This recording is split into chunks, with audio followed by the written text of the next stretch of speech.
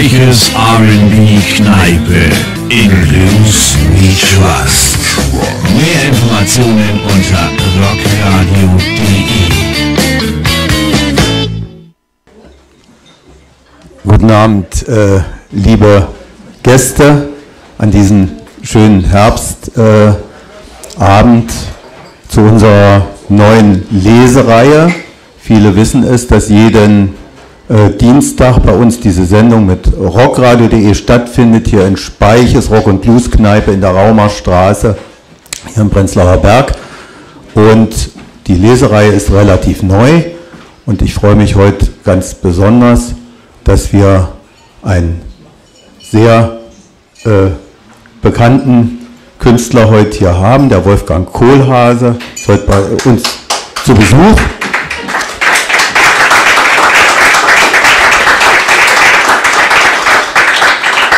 Der den meisten äh, von uns äh, überwiegend bekannt sein sollte durch sein Schaffen als äh, Drehbuchautor. Ich würde sagen, knapp an die 20 Kinofilme und viele andere Arbeiten. Und ja, über, eine, über einen langen Zeitraum, über mehrere Jahrzehnte, einige zu erwähnen, ich war 19, ja, äh, Berlin, Ecke Schönhauser, Solo Sunny, Der Bruch, auch ein wichtiger Film, aber auch äh, in den äh, in der, nach der Wende, wenn man das so sagen darf, zum Beispiel äh, Die Stille nach dem Schuss oder Sommer vorm Balkon, auch ein ganz großer äh, Kinoerfolg. Und heute wollen wir aber nicht in erster Linie über die äh, Kinofilme sprechen, da kommen wir später bestimmt noch dazu, sondern ähm, es gibt ja auch ähm, mehrere Bücher, die hier auch äh, zu sehen sind und es wird heute gelesen. Das begrüße ich Bastian Voss. Hallo, hallo. Bastian, mich. Ja, Bastian Voss, äh, Schauspielerin, Kabarettistin, Sängerin, äh, Sprecherin und Autorin? heute. Bitte? Autorin. Autorin, da wäre ich noch dazu gekommen. Und heute äh, auch Vorleserin. Und ähm, wir werden äh, über die äh, Bücher äh, sprechen, über.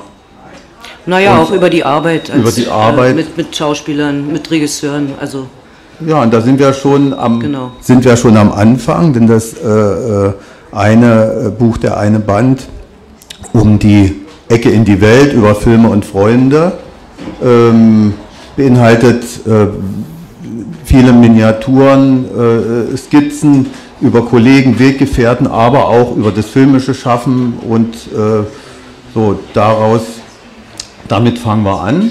Und da stelle ich einfach mal äh, schon, ja, könnte man mit einer Frage schon mal reingehen, Herr Kohlhase, und zwar, ähm, weil wir schon über das Übergreifende gesprochen haben, wie war, äh, wie nah war Ihnen als Filmemacher der Westen in den Jahren äh, der DDR. Ja, da muss ich, glaube ich, ein bisschen zurück im Leben, wenn ich darüber nachdenke, äh, an die Zeit, als ich ohne besondere Ansprüche ins Kino ging, ein Abenteuer für 40 Pfennig, äh, da wo man wohnte, verbunden mit der immer erneuerten und nie ganz aufgegebenen Hoffnung, man könnte den Grund entdecken, weshalb man über unter 14 nicht reingelassen wurde. Aber die Geheimnisse blieben lange Zeit Geheimnisse. Aber so habe ich gesehen, was es im Kino gab, ohne, ohne eine besondere Erwartung, nur mit der Neugier einmal in der Woche oder so. Meine Mutter gab mir diese besagten 40 Pfennig, andere hatten 60 Pfennig und äh, was mich dann kränkte oder auch mir leid tat, wenn ich wegen Mangel an 20 Pfennigen einen Film nicht sah, den meine Freunde sahen. Äh, dann nicht, weil ich den Film nicht gesehen hatte, sondern weil ich Montag früh nicht mitreden konnte, wenn der Film nochmal durchgesprochen wurde. Was mich wesentlich später auf den Gedanken brachte, dass Kino eben Kommunion, Kommunion ist und nicht Meditation. Kino geht weiter und wird nicht vergessen, die wirklich guten Filme hören mit dem letzten Bild nicht auf, sondern sie erzählen ein Thema und eröffnen eine Frage. Ein guter Film. Und andere Filme gehen verloren. Kann man doch sagen, warum nicht? Ja, muss nicht alles aufgehoben werden. So, also das, so war ich ausgerüstet und als ich ankam, wie eine ganze Generation von Kindern meines Alters, bei dem letzten großen Nazi-Film Kolberg. Bei Kolberg äh, mit Heinrich George und mit erlesenen, äh, routinierten Schauspielern sollte die Stadt nicht an die Franzosen übergeben werden und gemeint war aber, es sollte überhaupt nicht kapituliert werden. Und das zielte auf die 16-, 17-Jährigen. Das war sozusagen die Auffrischung einer Moral, die es eigentlich nicht mehr gab. Denn irgendetwas stimmte nicht. Es stimmte im Leben nicht, im Krieg nicht, stimmte auch im Kino nicht mehr. Irgendwann äh, verloren die Dinge ihren Glanz. Die ersten Jahre während des Krieges ging ich in die Filme, wo immer drei gut aussehende Offiziere Urlaub hatten und fuhren noch schnell bei der Braut vorbei. Und sie, wenn auf dem Wege von der Front, wo sie siegten, im Westen an die Front, wo sie auch siegten, im Osten. Sie siegten immer und hatten kleine Katzen am Arm, die sie streichelten, bis sie nicht mehr siegten. So, dann verschwanden die, verschwanden die Flieger eigentlich auch aus dem Kino. Aber äh, zu den Erinnerungen gehört, dass man immer, wenn ein Film, den man sich so um 8 Uhr ansah, 8, halb 9, 9 in Berlin, dass man in den Fliegeralarm geriet. Äh, das lief der Film und dann, macht, dann fiel eine Klappe, die irgendwo klack machte äh, und dann jaulte die Musik und lief aus. Und dann kam der Mann, der das Kino bediente und sagte, wir bitten alle Anwesenden, einen geeigneten Schutzraum aufzusuchen. Und dann kam der entscheidende Satz, Eintrittskarten behalten ihre Gültigkeit. Und so habe ich ein, ein preußisches Drama mit dem Titel Affäre Rödern. Manche Dinge merkt man sich fürs Leben, obgleich nicht viel Sinn macht. Äh, Habe ich sechsmal gesehen, bis, bis ich wusste, dass der König Unrecht hatte in diesem Falle. Ja. So, und dann, dann, kam, kam etwas Merkwürdiges. Es kam das Kriegsende und die nach Berlin einrückenden waren erst die Russen, dazu kamen die Amerikaner, dazu kamen die Engländer, dazu kamen die Franzosen, fehlten noch. Aber, und alle brachten ihre Filme mit. Die Armeen hatten ja so, so eine Art Kulturabteilung offensichtlich und brachten ihre Filme mit. Und so sah ich eine, konnte ich entdecken, die hatten uns nicht nur die Welt verschwiegen, sie hatten uns auch die Filme der Welt verschwiegen. Und die Welt, die sich ja mit Hilfe der Filme entdecken ließ. Äh, und die russischen Filme waren seltsam, das waren Filme aus den 30er Jahren. Also das war offensichtlich so die die frühe Stalinzeit, aber es waren nicht die die klischierten Geschichten, die später üblich wurden. Es, es spielte immer eine wilde Musik, die man dort nie gehört hatte in der Art.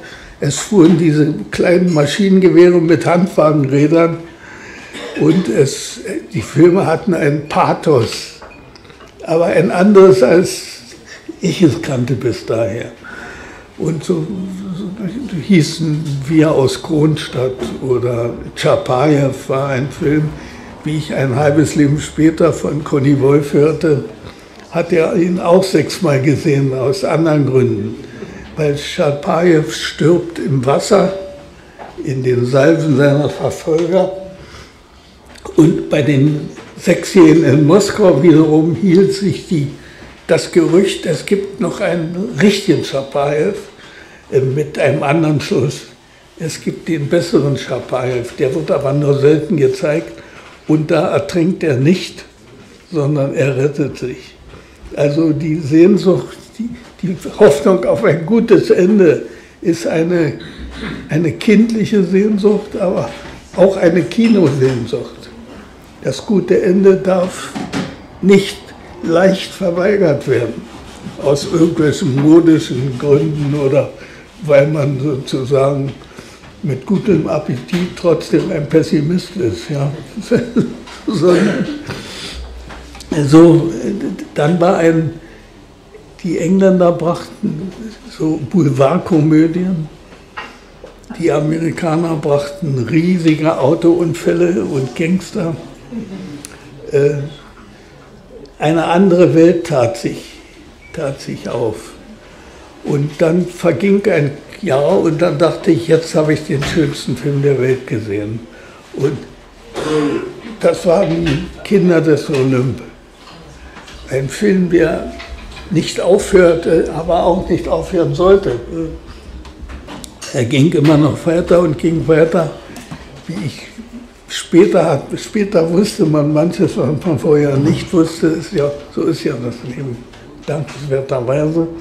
Aber die hatten, die, ein Teil der Filmleute, die in Paris arbeiteten, wo man arbeiten konnte, die Besatzung war nicht überall gleich. Der Krieg hatte überall ein auch anders gefärbtes Gesicht und damit diese Kollegen, die an diesem Film mitwirkten, als was auch immer, nicht in die Arbeitslager fahren mussten, wohin man sie verpflichtete, äh, wurde der Film immer länger.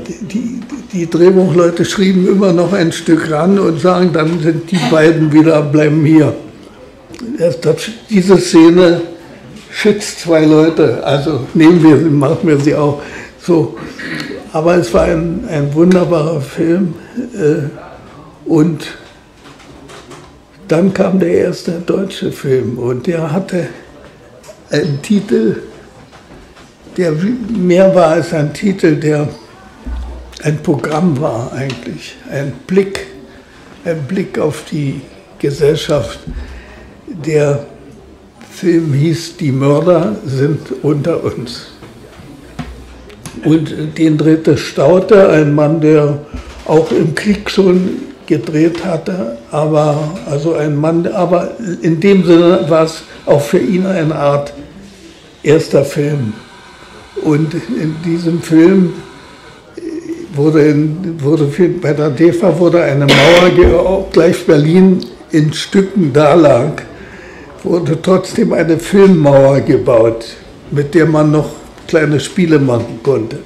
Und die stand dann jahrelang in der DEFA und wurde immer wieder benutzt, eine, eine Ruine, eine, eine falsche, echte Ruine. Und durch diesen Film geht, ging ein später weltberühmtes Blond aus Deutschland und hieß Hilde Knef. Es war also der erste von der Hildegard Knef und sie kam, sie schwebte durch diesen Film, durch den sich die, das Publikum wiederum verfolgt, verarmt und ratlos durch dieselben Straßen bewegte. Ich habe dann später gedacht, äh, wie wenige sind so mit so viel Schönheit aus, aus einem Haftlager gekommen. Wahrscheinlich kaum jemand. Aber die, mit der Knef kam ein, ein Licht, ein anderes Licht. Und in dem Sinne war es so nicht gewesen, aber doch so gewesen, weil es begann eine andere Zeit. Und der Film mit seinem äh, Titel, auch seinem problematischen Titel, äh, gehörte dazu und war, war und blieb, obgleich das Thema sich dann auch äh, herum inszenierte und mehr Filme gemacht wurden, äh, war es die Erinnerung an die Knef, die lange gehalten hat. Und sie ging ja dann, wie man weiß, so nach Amerika und kam wieder und hatte Freude und Ärger, so wie das. Und äh, äh, das war, die Mörder sind unter uns. Es gab die, die, ersten Filme, die DEFA war die erste Gesellschaft, die eine Lizenz hatte. Also sowjetische. Die Engländer haben keine Lizenz gegeben. Später ja, also das handelte sich dann um Wochen und Monate, aber die Russen hatten eine Lizenz, also gab es vier Männer, vier magere Männer in dunklen Anzügen, die eine Urkunde entgegennahmen. Das gibt es als Film irgendwo. Und dann gab es die DEFA. Und die DEFA war in Babelsberg und viele dieser Leute wohnten auch in Babelsberg. Das war der gute, inzwischen kaum noch wiedererkennbare Berliner Westen. Da wohnte man, da verdiente man sein Geld, da gab man es aus. Und so, so gab es eine Filmgesellschaft. Und ich war in der Schule befreundet mit einem schönen Jungen, der wollte Schauspieler werden. Und wir beide lasen Gedichte gerne. Ich habe eigentlich Fußball gespielt und habe mich von Gedichten ferngehalten, aber es war ein zauberisches Alter. So. Und, äh, und der ging und machte, und machte Komparserie für die DEFA. Ich, lauter Dinge, von denen ich nie gehört hatte. Was ist denn das? Komparserie. Und kriegen die, machen die das umsonst oder kriegen die da Geld dafür? Oder äh, muss man da irgendwas auswendig lernen und wie macht man das? Und so. Und äh, mit Hilfe dieses, äh, da machte ich auch zweimal Komparserie und man, Komparserie ist rumstehen eigentlich. Ja. man wartet lange Zeit. Später wusste ich, dass es auch bezahlt wird. Und zwar, dass es mit Kuchenessen kriegst du mehr als ohne Kuchenessen. Also Kuchenessen gilt als Spielhandlung. Bei den Leuten, die die Honorare schreiben müssen. Und, äh, und so wurde seltsamerweise der und zufälligerweise nichts in meiner Umgebung hatte irgendetwas mit Kino zu tun. Äh, aber ich wurde so, hatte eine, eine Idee, wäre zu viel gesagt, aber die, eine Vorstellung ist in der Nähe von, von Kino oder von Zeitung oder ein Begriff wie Medien, sowas gab es ja gar nicht. Aber ist, kann, man, kann man da mitmachen, kann man da mal klopfen und fragen. Und zu den großen und wahrscheinlich fürs Leben reichenden Erinnerungen gehört, dass man konnte klopfen und fragen. Wenn man, also es war eine Zeit, eine Zeit des Anfangs. Noch in den, in den 40ern war das? Ja, bis in die 40er hinein, ja. Also ja. Das war also nach dem Kriege, die, die späten 40er, die DEFA die wurde späten 40er, ja, hm. ja, es war eine Zeit des Anfangs. Ja. Und äh, die DEFA war seltsam gemischt aus, aus Dilettanten und Routiniers. Also die einen hatten schon immer Filme gemacht und hatten eine Idee, wie man das macht. Meist eine falsche, sage ich, von heute gesehen. Und, äh, und die anderen hatten, die, die, die, auch die Kameraleute kamen ja aus dem Krieg. Ja. Und zum Beispiel äh es einer der später berühmten Kameraleute in der DEFA war Werner Bergmann und das, der hat 14 Filme mit Konrad Wirf gemacht insgesamt. Und, und die Filme spielten äh, unter Umständen, von denen sie beide etwas wussten, nur auf zwei verschiedenen Seiten der Front. Der eine war in der Roten Armee und das, das Kind von Emigranten, die in Moskau lebten. Und Bergmann war ein stolzer Dresdner Leutnant von 20 Jahren, der erfunden hatte die auf der Kanone fest montierte Kamera. Die erlaubte es, ich rede darüber, aber der Krieg ist ja wieder fürchterlicherweise nahe geworden. Also man konnte mit dieser Kanone zielen und treffen und dem Schuss folgen. So. Und das machte ihn stolz, als er ein Leutnant war. Er verlor bei der Gelegenheit seinen Arm, weil, ihn ein, weil er einen russischen Panzer übersehen hatte, der in einer guten Schussstellung stand. Also hat er sein ganzes Leben die Kamera auf einer Schulter getragen. Äh, und wollte sich auch nicht helfen lassen. Hatte außerdem eine kleine Leica mit, mit der er ganz eine Aufnahme machte. Und trotzdem äh, machten die beiden Filme und manchmal sogar über den Gegenstand des Krieges. Also es, es, auch das waren Anfänge. Leute mit sehr verschiedenen Lebensgeschichten trafen sich unter anderem in Babelsberg und, ja. und so, oder auch an den Theatern in, in Berlin. Und dann ging, war ich bei einer Zeitung, das war wunderbar im Sinne der Zuständigkeit, in die man sich versetzt sah. Also sozusagen hat, hat man sich auch selbst dramatisiert. Wenn, wenn ich musste dann die Mittwochabendausgabe äh, abzeichnen. Also was ich, was falsch war, war falsch und blieb falsch. Aber es war ein großes Gefühl zu sagen, wenn ich das nicht gut mache, dann ja.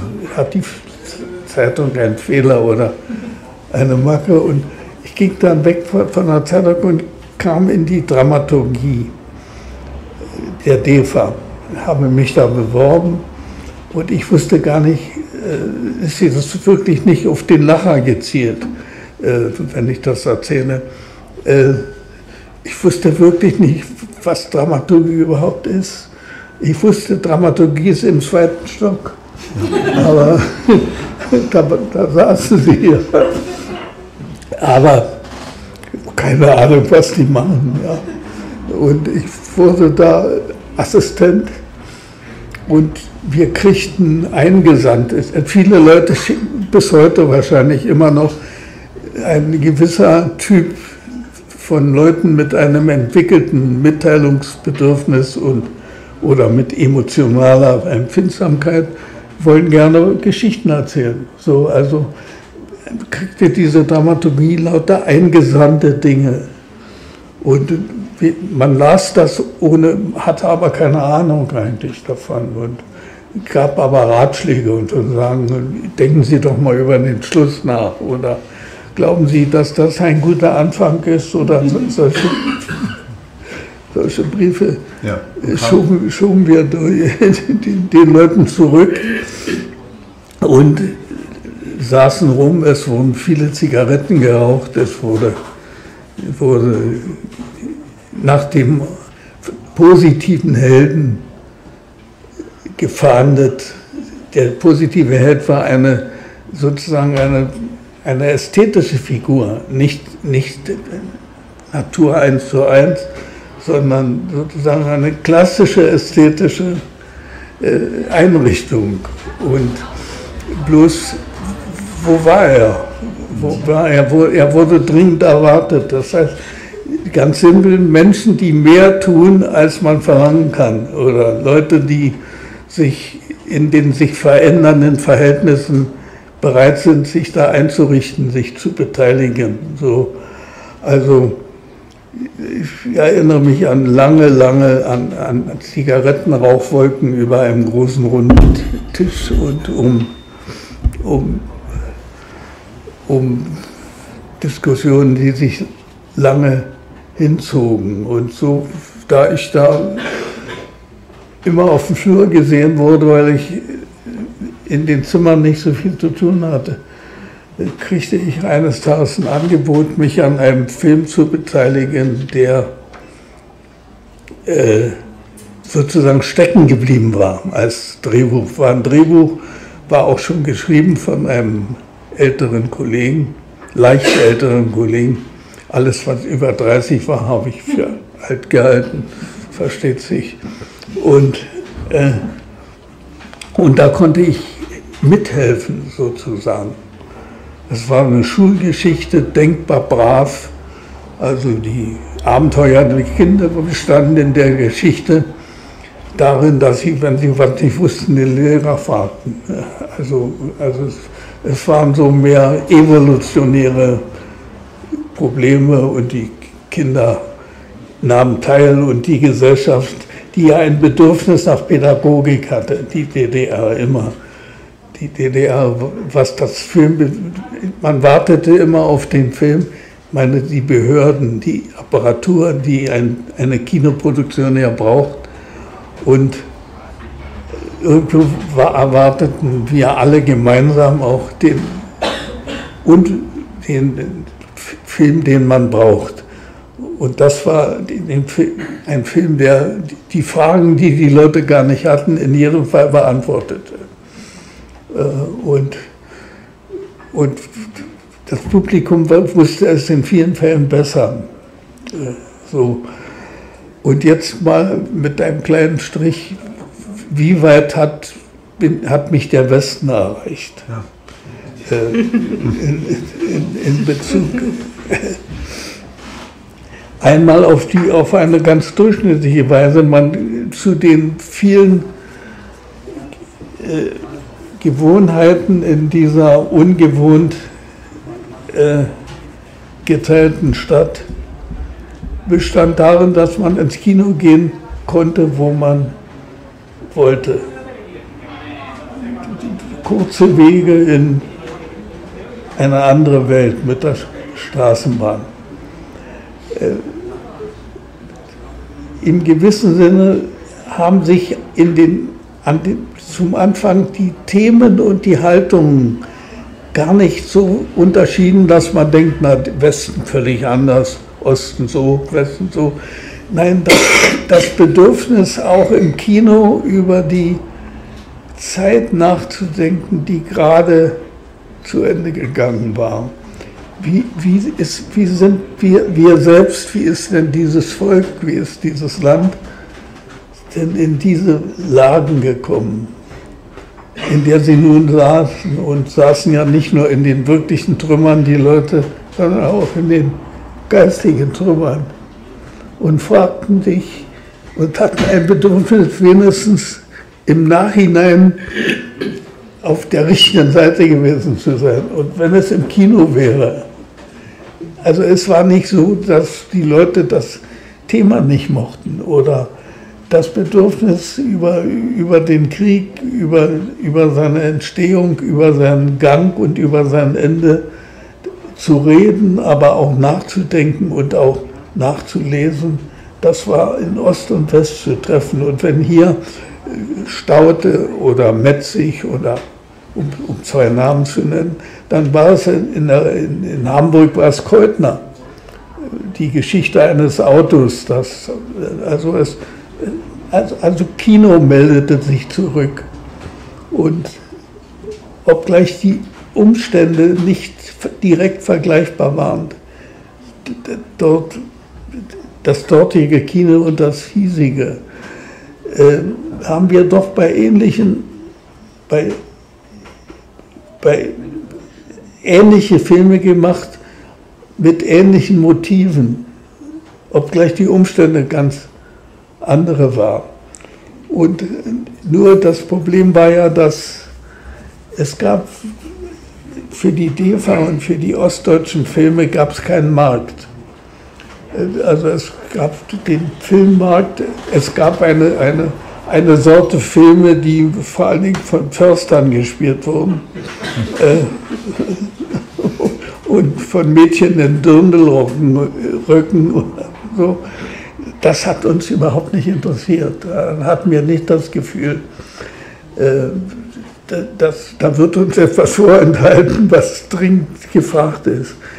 Ähm, anders war es mit den Amerikanern, mit den Franzosen, anders war es mit den Polen und mit den Tschechen. Das waren alles, da entstand eine Art von Filmkunst, die bestaunenswert war und von der man glaubte, da kann man etwas abgucken so oder so muss man versuchen, Filme zu machen.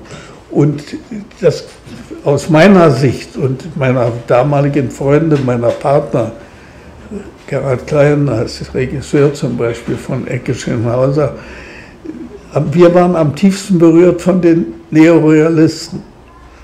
Die Neorealisten machten diese wunderbar, das Fahrrad und die Fahrraddiebe, so Sie machten diese wunderbaren Geschichten, die an der Ecke spielten, wo man wohnte. Und die Entdeckung, dass man Filme machen kann, da wo man wohnt, war umwerfend. Weil bis dahin haben wir gedacht, naja, Film, Film ist zu Pferde. Film ist vor, vornehm. Film hat Migräne.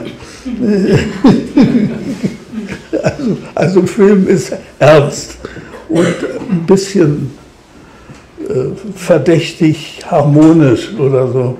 Ja, und jetzt kamen diese, diese wunderbaren Italiener und brachten ja nicht nur mit einen Blick auf die Welt, und, äh, sondern sie hatten auch, sie arbeiteten auch mit den dafür brauchbaren ästhetisch-technischen Mitteln. Das heißt, man drehte auf der Straße, man nahm, äh, man nahm Filmmaterial, das grob war und unschön, nicht gesoftet und, und wie, wie seine Film, hart, hart und schwarz-weiß, kurze Brennweiten, das macht große Straßen. So, also, äh, und wir hatten das Gefühl, wir fühlen uns sicher in, mit, in, in diesem Ambientes, in diesem mit der die arbeiteten. Und wir hatten immer ein bisschen Angst vor den Leuten, die in den langen Drehpausen ihr Frühstücksbrot aßen und alles besser wussten. Im Gegenteil, wie, wie, wie alle, alle neu gewonnenen Überzeugungen neigen doch zum Purismus, zu, zu, zur Radikalität. Also nicht nur, dass wir uns antrauten, Filme zu machen und durchaus die Verantwortung auch empfanden. Das war, war, war auch damals viel Geld, was das kostete. Es waren auch, waren auch damals 80 äh, Leute, die einen Film drehten. Und es waren auch damals 60, 70 Tage. Also man wusste, man ist in einer Zuständigkeit, das ist, ist schon irgendwie wie Arbeit gemeint, aber trotzdem äh, konnte man sie sich einrichten und äh, Kunst machen oder Film machen oder auch schreiben hat auch immer zu tun mit Nachmachen. Mit Nachmachen. Wie machen die das? Kann man das nicht auch machen? Das gehört dazu. Also wer, wer die Wer den Blick auf das, was schon da ist, verliert, wie, wie soll der was machen, was noch nicht da ist? Also etwas fortsetzen oder so. Und so hatten wir dann Berlin war eine Kulisse, wie, wie sie ins Weltkino passte, als Kulisse.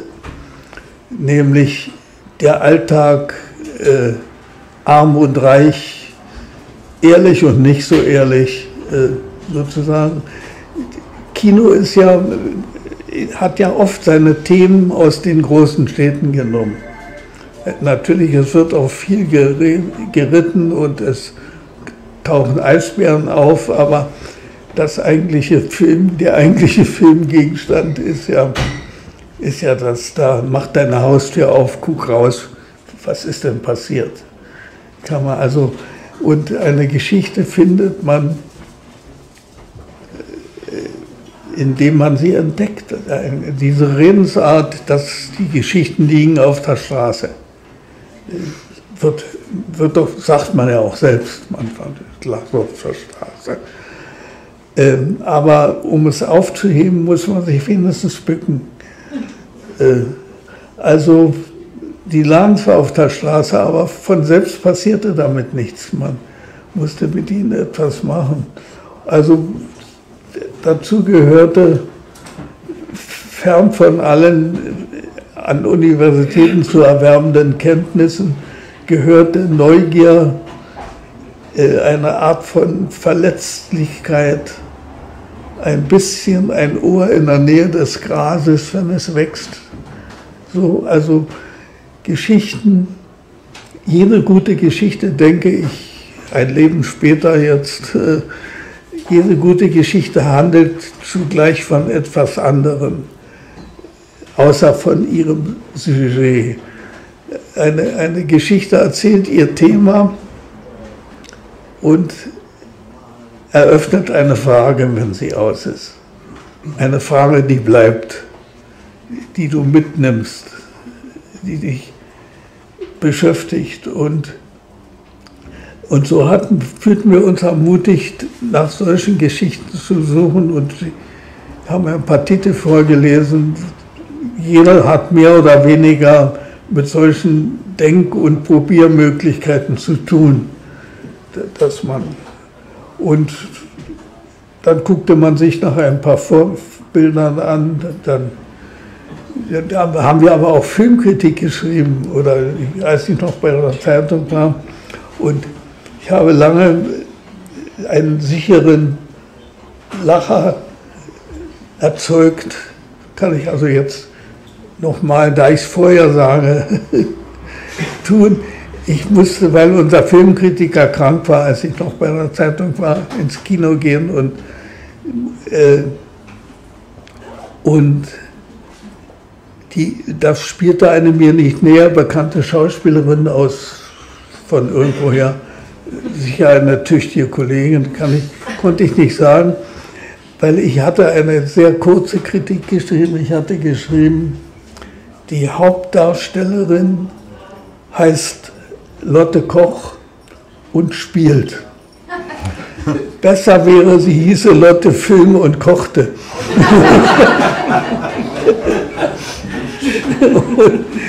Eigentlich unver wirklich unverschämt. Aber doch, na hör mal, wir, wir, wir schreiben doch, was wir denken, ja. Und, und es gab ja genug äh, halb weggetauten Schnee im Kino, ja. der, der, der das verdiente oder so. Ja, also so, und, und das westdeutsche Kino wurde für, ich muss jetzt uns sagen, weil das nicht nur mein Problem war, das wurde erst interessant, als mit dem sogenannten Oberhausener Manifest das war eine, eine, eine kritische Gruppierung jüngerer Leute, die Filme machen wollten äh, und dann auch machten. Also die berühmten Namen der 60er Jahre, ob das Schlöndorff ist oder Herzog oder Wenders, kommen alle aus der Ecke. Äh, als, sie, als diese Filme auftauchten, hatten wir das Gefühl, die wollen etwas Ähnliches machen. Ganz anders, aber ähnlich. Also wir waren nicht unbedingt äh, ich kann es jedenfalls so nicht erinnern, äh, in der Rolle armer Verwandter oder so, sagten der, äh, sondern man konnte, man konnte ja manchmal sehr leicht Erfolg haben, äh, wenn man mit Messer und Gabel aß. Das hatte niemand vorausgesetzt und auch nicht glauben wollten. Ja. Also man lernte sich kennen, man lernte sich langsam kennen, weil man zu wenig Filme sah. Aber es gab mehr Filme aus der Bundesrepublik, für die es hier eine Leinwand gab ja. und auch ein Publikum, was diskutieren wollte. Häufiger und gründlicher als über Ostfilme geredet wurde, wurde ja auch über Westfilme. Ost und West war nicht so ein für alle Mal festgelegt. Und insofern kannte man sich und stellte fest, dass wir so weit letzten Endes nicht auseinander sind mit dem, was wir schaffen und was wir nicht schaffen. So, aber es, die Bekanntschaft bedeutete eben, dass man wusste, man trifft sich bei Gelegenheit wieder. Obgleich, was kaum jemand weiß, es wurden auch Ostfilme verboten in der Bundesrepublik. Wir haben einen Film gemacht, den gibt es noch, kann man noch sehen. Jetzt ist er gerade gezeigt worden in letzter Zeit im Fernsehen. Äh, hieß der Fall Gleiwitz, der, der Film. Ja. Ist der Versuch, die, das Komplott, mit dem man einen Grund für den Überfall auf Polen gesucht hat, zu einem Thema zu machen. Äh, und wir waren eingeladen, so in, in einem, in, so, man wurde immer eingeladen von kunst- und politikfreundlichen Leuten, äh, die, die sich, und die Neugier war auf Gegenseitigkeit. Und der Fall Gleiwitz war ein, ein Sonntagvormittag in Frankfurt am Main und ich war nie in Frankfurt am Main gewesen oder wir fuhren überhaupt, war hier Westberlin, wusste ich ein bisschen Bescheid, aber nie.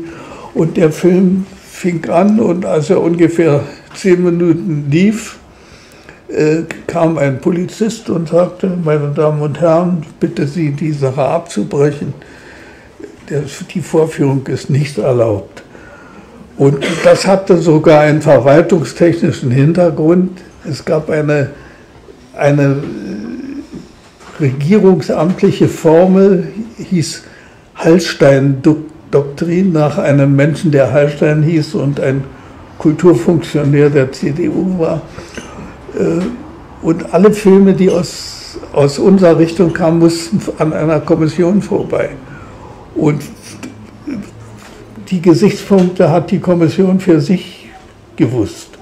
Aber es hat auch einen Film wie der Fall Gleiwitz, äh, der den Kriegsanfang erzählt hat und, und mit der Mitteilung endete, dass es 43 Millionen Tote gab. Äh, das hat dieser Kommission nicht zugesagt. Und wiederum sagte man, naja, was soll man machen? Oder wir haben daraus auch daraus konnte man jetzt sich nicht ein Weltbild bauen und sagen, jetzt weiß. Aber man ging irgendwo eine Suppe essen, fühlte sich links und verboten und fuhr wieder nach Hause. Also, so war das halt, ja. Aber so hat lange Zeit das auf einem relativ, beruhte auf wenigen Filmen, die die man tauschen konnte. Aber wir waren, das kann ich nun sagen, weil ich ja die Kollegen später dann auch über die Arbeit kennengelernt hatte, dass wenn die Akademie, Akademie der Künste zu einem Diskussionsabend gebeten hat, sind die gern gekommen. Weil es stellte sich heraus, dass es ein Publikum, vor allem die jüngeren Leute, aber nicht nur die Jüngeren gab in der DDR, das politisierter war als das westdeutsche Publikum. es, weil man schwieriger lebte hier und weil man, man wurde doch zum Mitdenken, war man ja dringend gebeten, allerdings nicht in jede Richtung. Ja, aber, aber es, waren, es waren trotzdem Denkvorgänge. Auch die Verletzungen kamen ja aus Meinungen, die man hatte und nicht, weil man sich gerne stritt oder sowas. Und insofern glaube ich, gab es ein Publikum bei, Gelegen, bei Gelegenheit bei uns hier, wo auch immer im Einzelnen, das schwer zu haben war in Hamburg oder in Frankfurt oder also war ein, ein gutes Publikum, ein, das etwas wissen wollte und das die Denkmuster, die, die man ihm nahelegte, wirklich verwenden wollte, nur nicht als, als platte Apologie. Und naja, wir, wir reden über Dinge, die wir besser wissen, auf Gegenseitigkeit, meine ich jetzt. Äh, ja. Ich würde, gerne, ich würde gerne aus einem Interview was zitieren, äh, das du mit Wiedmann geführt hast. Das ist auch in Um die Ecke äh, in die Welt. Und da sagst du, ich komme nochmal zurück auf die Geschichten, wo du sagst, äh, das war eine tolle Entdeckung, äh, zu sagen, mein, wir können ja Filme machen, die, hier um die, die bei mir um die Ecke spielen, weißt du. Dazu gehört ja auch Solo Sunny und dazu gehört auch Sommer vom Balkon. Und da sagst du in diesem Interview, ich habe eine Geschichte, in der geht es um zwei Frauen im noch nicht aufgefrischten Teil des Prenzlauer Berges. Dann kommt ein Mann dazwischen, dann ist er wieder weg und die beiden Frauen sind wieder allein. Eine Liebesgeschichte und eine Geschichte vom Durchkommen. Klein, kein Drama. Aber solche Filme gibt es. Es sind nicht die schlechtesten. Die Leute vom Fernsehen, ohne deren Beteiligung es auch im Kino kaum geht, haben Argumente. Etwa so. Wir haben die Freitagsschiene. Die Freitagsschiene muss für die ganze ARD und für die ganze Familie sein. Dafür taugt die Sache nicht. Dann haben wir noch die Dienstagsschiene für die halbe Familie. Für die ist der Film auch nichts. Ich höre damit auf an dieser Stelle. Wer soll es beurteilen? Ich nehme nur an, im Fernsehen und mehr noch im Kino wird viel versäumt, wenn fast nur noch Filme in bestimmten Genres produziert werden. Die besseren von ihnen haben eine Tür zur Realität, aber die Mehrzahl reproduziert nur die eigenen Regeln und dabei fällt wenig Licht auf das Leben. Ich finde das sehr schön, was du da sagst, äh, wie eben mit Stoffen umgegangen wird und auch heute.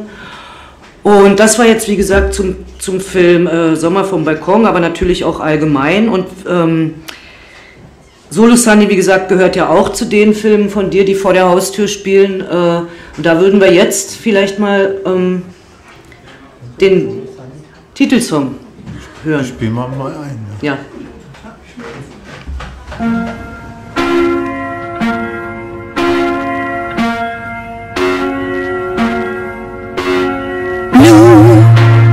Ja. dawn is growing blue. A dream is coming true. When you will come our way Some sweet day. Red The sun is rising red And all my love you'll get When you will come and stay someday. Let me sing that song of the golden girls and the men so strong, merry old song. When everybody else is gone, of the golden girls and the men so strong, that old song.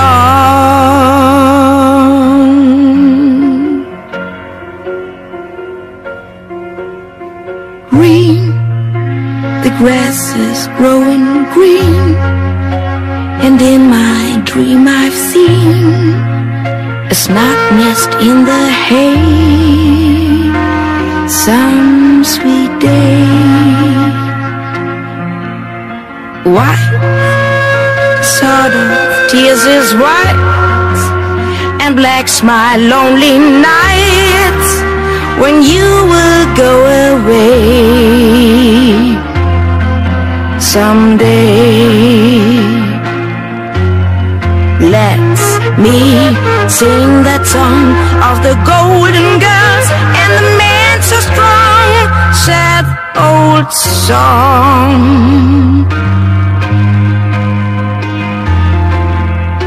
When everybody else is gone. Of the golden girls and the man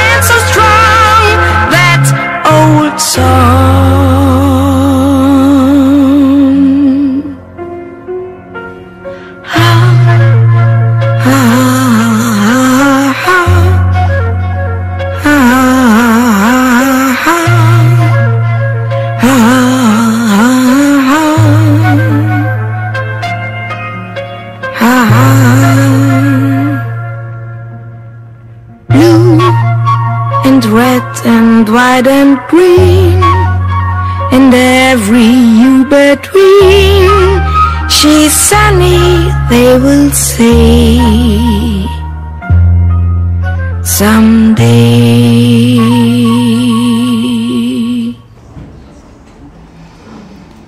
Was für ein Song. Absolut zeitlos und immer wieder toll. Und, so, ja. die Regie hat mir einen Wink gegeben. Wir sind natürlich heute hier im, in einer Live-Sendung auf rockradio.de und auch auf, den, äh, auf dem YouTube-Kanal von rockradio.de und es ist ein, ein äh, äh, Chat geschaltet. Wer Fragen stellen will, äh, kann dort im Chat auch das schicken und wenn später äh, Fragen im Publikum sein sollten. Sofern wenn, werden wir bestimmt Zeit finden, die eine oder andere auch zu beantworten. Und wir möchten natürlich uns unterhalten, wir möchten aber auch aus den äh, Büchern lesen. Deswegen äh, bitte ich jetzt Sebastian Voss, dass Sie dort eine Episode aus dem Um die Ecke in die Welt über Filme und Freunde hat sie rausgesucht und wird was liest du denn, Bastian? Na, ich lese jetzt, weil wir gerade den Titelsong aus Solo Sunny gehört haben, lese ich jetzt äh, den Text, den äh, Wolfgang geschrieben hat zu Renate Krössner, die die Hauptrolle ja gespielt hat in Solo Sunny. Und danach machen wir eine Pause. Renate Krössner, ein Text übrigens von 1996. Man befürchtet weniger an eine schlechte Schauspielerin zu geraten, als an die falsche. Renate Krössner, von der wir nicht viel wussten, kam und ließ sich besichtigen. Von einem Film, der eine Weile zurücklag, hatte ich alles vergessen, bis auf die Art, wie sie gelacht hatte. Kürzlich war sie in Jeans, aber auf hohen Hacken durch einen anderen Film gestöckelt, die Nase aufwärts, eine Zigarette im Mundwinkel. Das hatte Konrad Wolf gefallen. Nun redeten wir, ab und zu fiel sie zierlich ins Berlinerische, Dabei beherrschte sie die Tonlage der Stadt, auch wenn sie Hochdeutsch sprach. Wie man in Berlin sich ausdrückt, das ist ähnlich wie in anderen großen Städten eine Art zu denken, ehe es eine Art zu sprechen ist. Reflex sozialer Erfahrung, von Kennern sogar nach Stadtgegenden unterschieden. Sunny, unsere Hauptperson, gehörte zum Prenzlauer Berg und zum reisenden Tingeltangel, und Renate Krössner schien von beiden Welten etwas zu wissen. Von den weiblichen Rollen, die Kino bevorzugt, war sie nicht die Königin, sondern das Mädchen von nebenan. Sie war schön, aber nicht nur und nicht von allen Seiten. Man konnte ihr nachsehen, ohne gleich zu wissen, wie man sie findet. Ihr Gesicht bestand aus verschiedenen Gesichtern. Als sie an diesem Tage gegangen war, wollte Konrad Wolf nicht mehr weitersuchen und ich auch nicht. Beim Drehbuch hatte ich mich auf ein Mädchen bezogen, das ich kannte und das alles in allem wie Sunny lebte. Nun trat die Person aus jener Wirklichkeit und meiner Fantasie neu vor mein Auge und würde, welch angenehmer und banger Gedanke, für immer so aussehen wie die Schauspielerin unserer Wahl. Es folgten die Übungen mit Kostüm und Maske. Renate Krössner, den mittleren Liebreiz der Schlagerszene vor Augen, wollte nicht schön sein. Sie wollte gefallen, indem sie nicht gefiel. Wir meinten, sie müsste gefallen, damit sie nicht gefallen könne. Das scheint nur ein Wortspiel zu sein, doch war es ein Thema der ersten Drehtage, ehe die Figur die Gestalt gewann, die uns gemeinsam einleuchtete. Den Dialog, so entsinnt sich mein Autorenohr, sprach sie leicht und so, wie ich es meinte. Wichtiger war es, dass sie sich in den Nachbarschaften der Handlung bewegte, als hätte sie nie woanders gewohnt. Wie sie eine Stulle schmierte und aß, wie sie in weißer Bluse anders saß als im Pullover, wie eine Schürze sie farblos machte und ein Hut verwegen.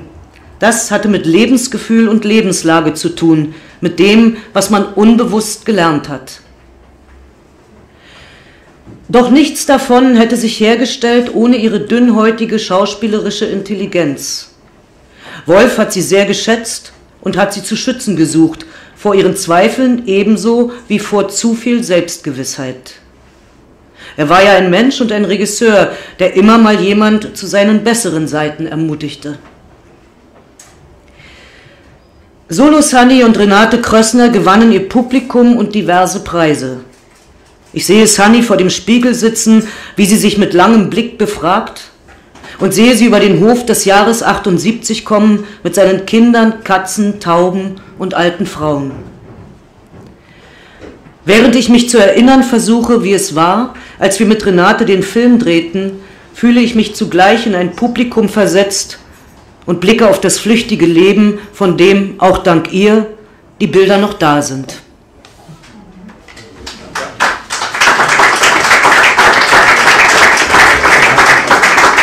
So.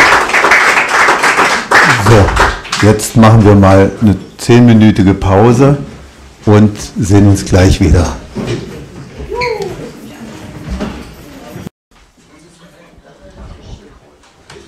So, wir haben in der Pause hat sich hier was eingefunden. Ein Gast hat sich eine Amiga-Schallplatte ähm, signieren lassen. Da hat nämlich der, unser, der Wolfgang Kohlhase eine Rezension geschrieben auf der Rückseite und zwar genau die Günter Fischer-Platte, wo auch der äh, Song Solo Sunny mit drauf ist. Der äh, Schallplattenfreund sagt, das ist ein sehr seltenes Exemplar. Wollen wir hier ähm, erwähnen. Und wegen, äh, wir haben natürlich die zwei Bücher hier heute auch vorrätig, soweit der Vorrat reicht. Im Anschluss der, der Sendung kann und der Lesung kann gerne äh, das erworben werden, auch signiert werden und wir äh, haben dazu schon noch ein bisschen Zeit vorgesehen. Aber jetzt möchten wir natürlich weitermachen mit äh, unseren Abend. Ich werde einfach mal von meinen Fragen die nächste stellen und freue mich schon wieder auf die hinreichende Antwort. Und Herr Kohlhase, wie stark verändert sich eine Geschichte, wenn sie zu einem Film wird.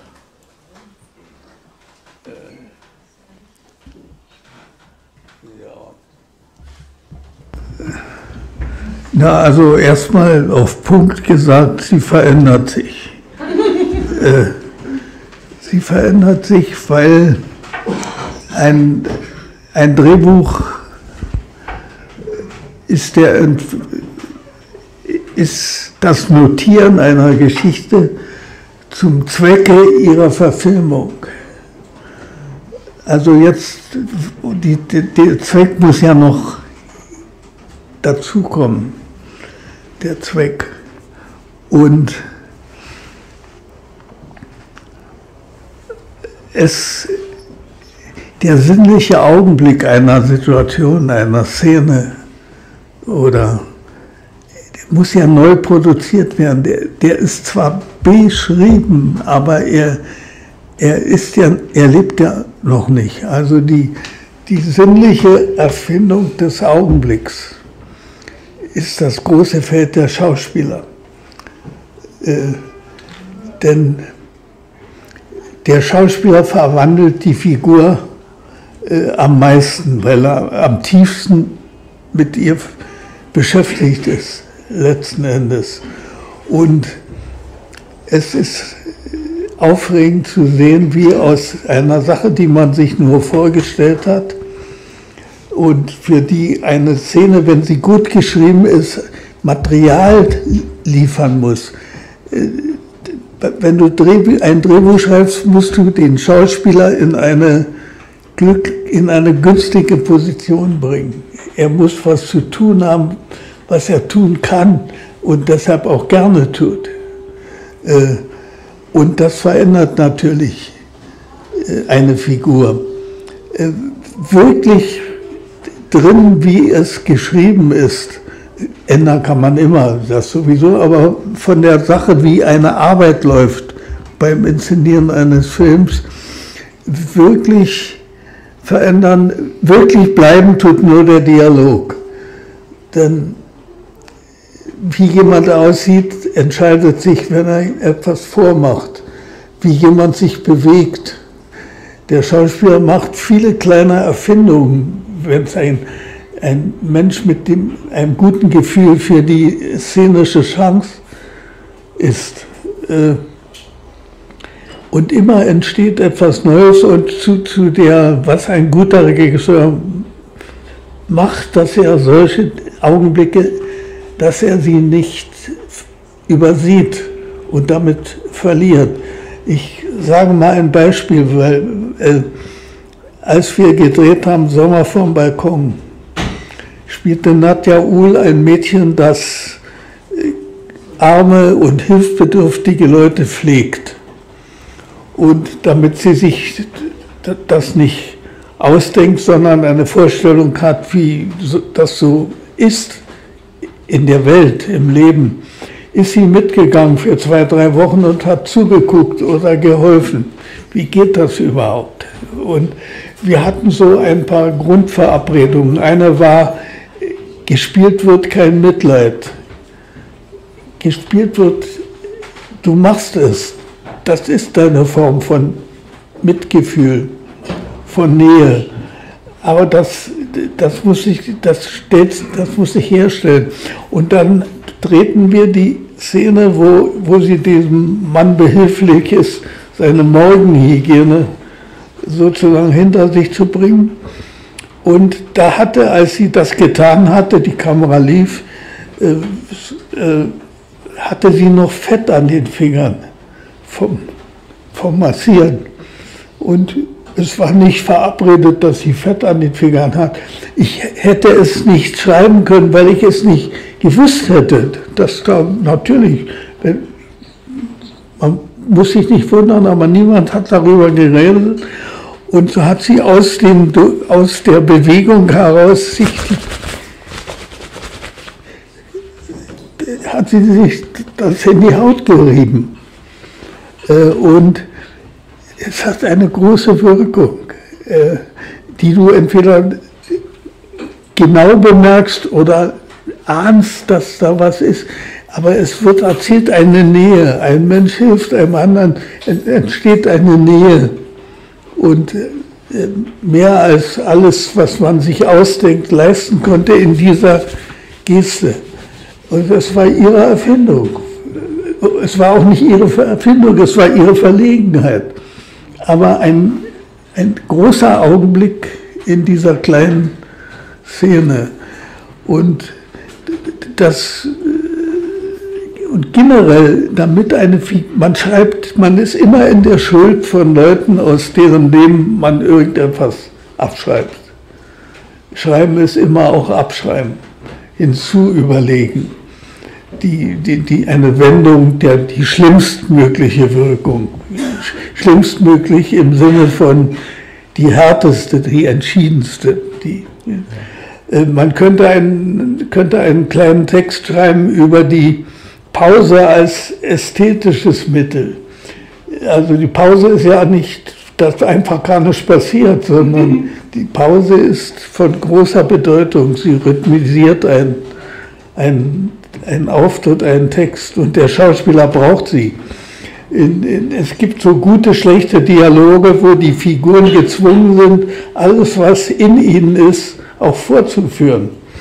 Und das sind nicht die besten Dialoge, weil sie meist etwas vorwegnehmen oder nachliefern, was das Publikum gerne entdecken würde.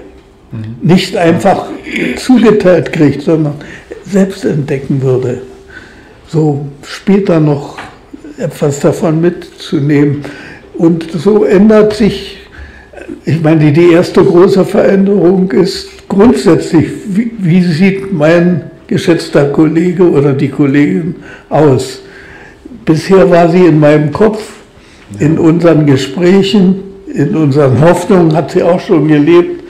Und jetzt wird sie viel immer aussehen wie, und kommt ihr Name, so wird sie für, der Film wird gemacht werden, er wird altern, aber immer wird sie aussehen, wie heißt es vom Winde verweht, äh, wie heißt die Frau? Nicht O'Hara. Scarlett O'Hara. Scarlett, Scarlett O'Hara war nicht eigentlich schön zu nennen. Was ist das? Nicht eigentlich schön.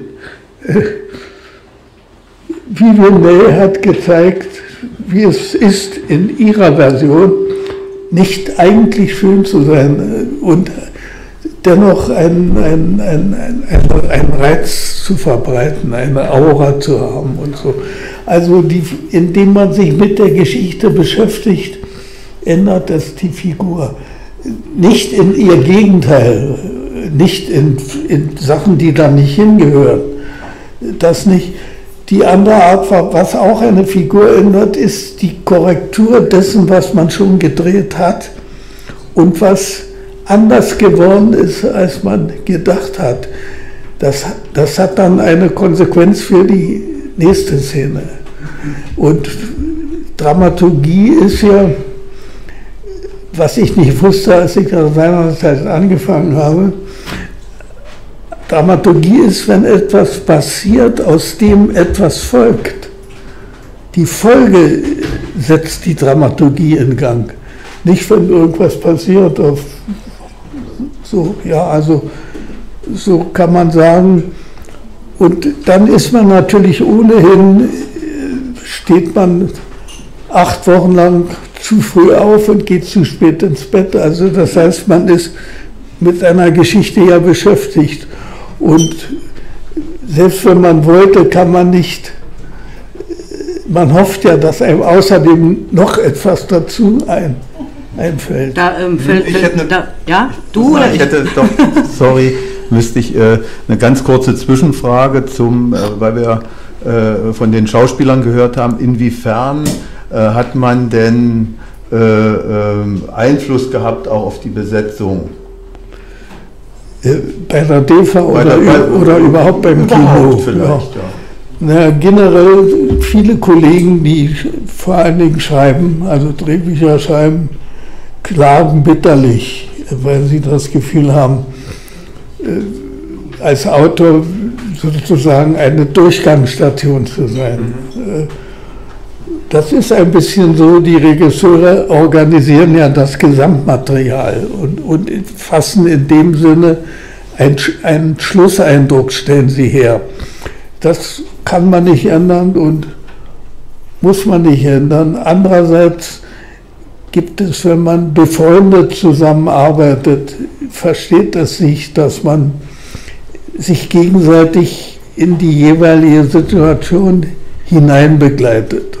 Und jemand wäre ja dumm, wenn er einen Vorschlag, der tauglich ist, nicht annimmt. Aber es, das muss man mit den Regisseuren verabreden.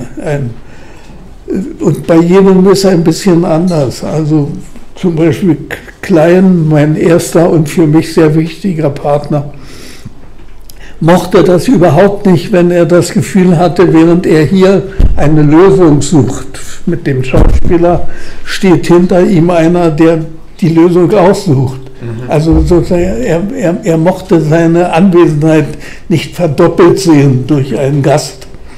Machte ihn nervös, wenn man so. Wolf machte das gar nichts aus. Der, der hatte, der stand groß in der Mitte der Szene und, und nahm an, lehnte ab und, und so und war, war nicht bedroht durch, durch Störung. Und so, und so ist es jedes Mal ein bisschen anders und man, man muss es von Fall zu Fall verabreden und dass man und sich das Ziel immer mal wieder gemeinsam vorstellt, wo man eigentlich hin will mit und ich, ähm, ich wollte was, ich wollte äh, was sagen nochmal zum Thema Dramaturgie. Ja? Äh, erzähl doch bitte, bitte mal die schöne Geschichte, wie du angefangen hast zu schreiben, weil du wolltest ja wohl äh, einen Krimi schreiben. Du wolltest doch einen Krimi schreiben, ganz am Anfang deiner. deiner äh, äh ja, und? Naja, und die Geschichte, die ist so schön. Die Geschichte ist so schön. Erzähl doch mal die kleine Geschichte. Na, hilf mir mal rein in die Geschichte. Naja. Also, naja, das kann er, aber das kann er besser erzählen. Du wolltest einen Krimi schreiben und hattest was am Ende? Ach so. Ja. ja, das war, ja, das war ganz am Anfang. Na, ganz am Anfang, sag ich ja. Ganz am Anfang. Ganz am Anfang hatte ich äh, zwei abgebrannte Häuser, sieben Tote und keine Handlung.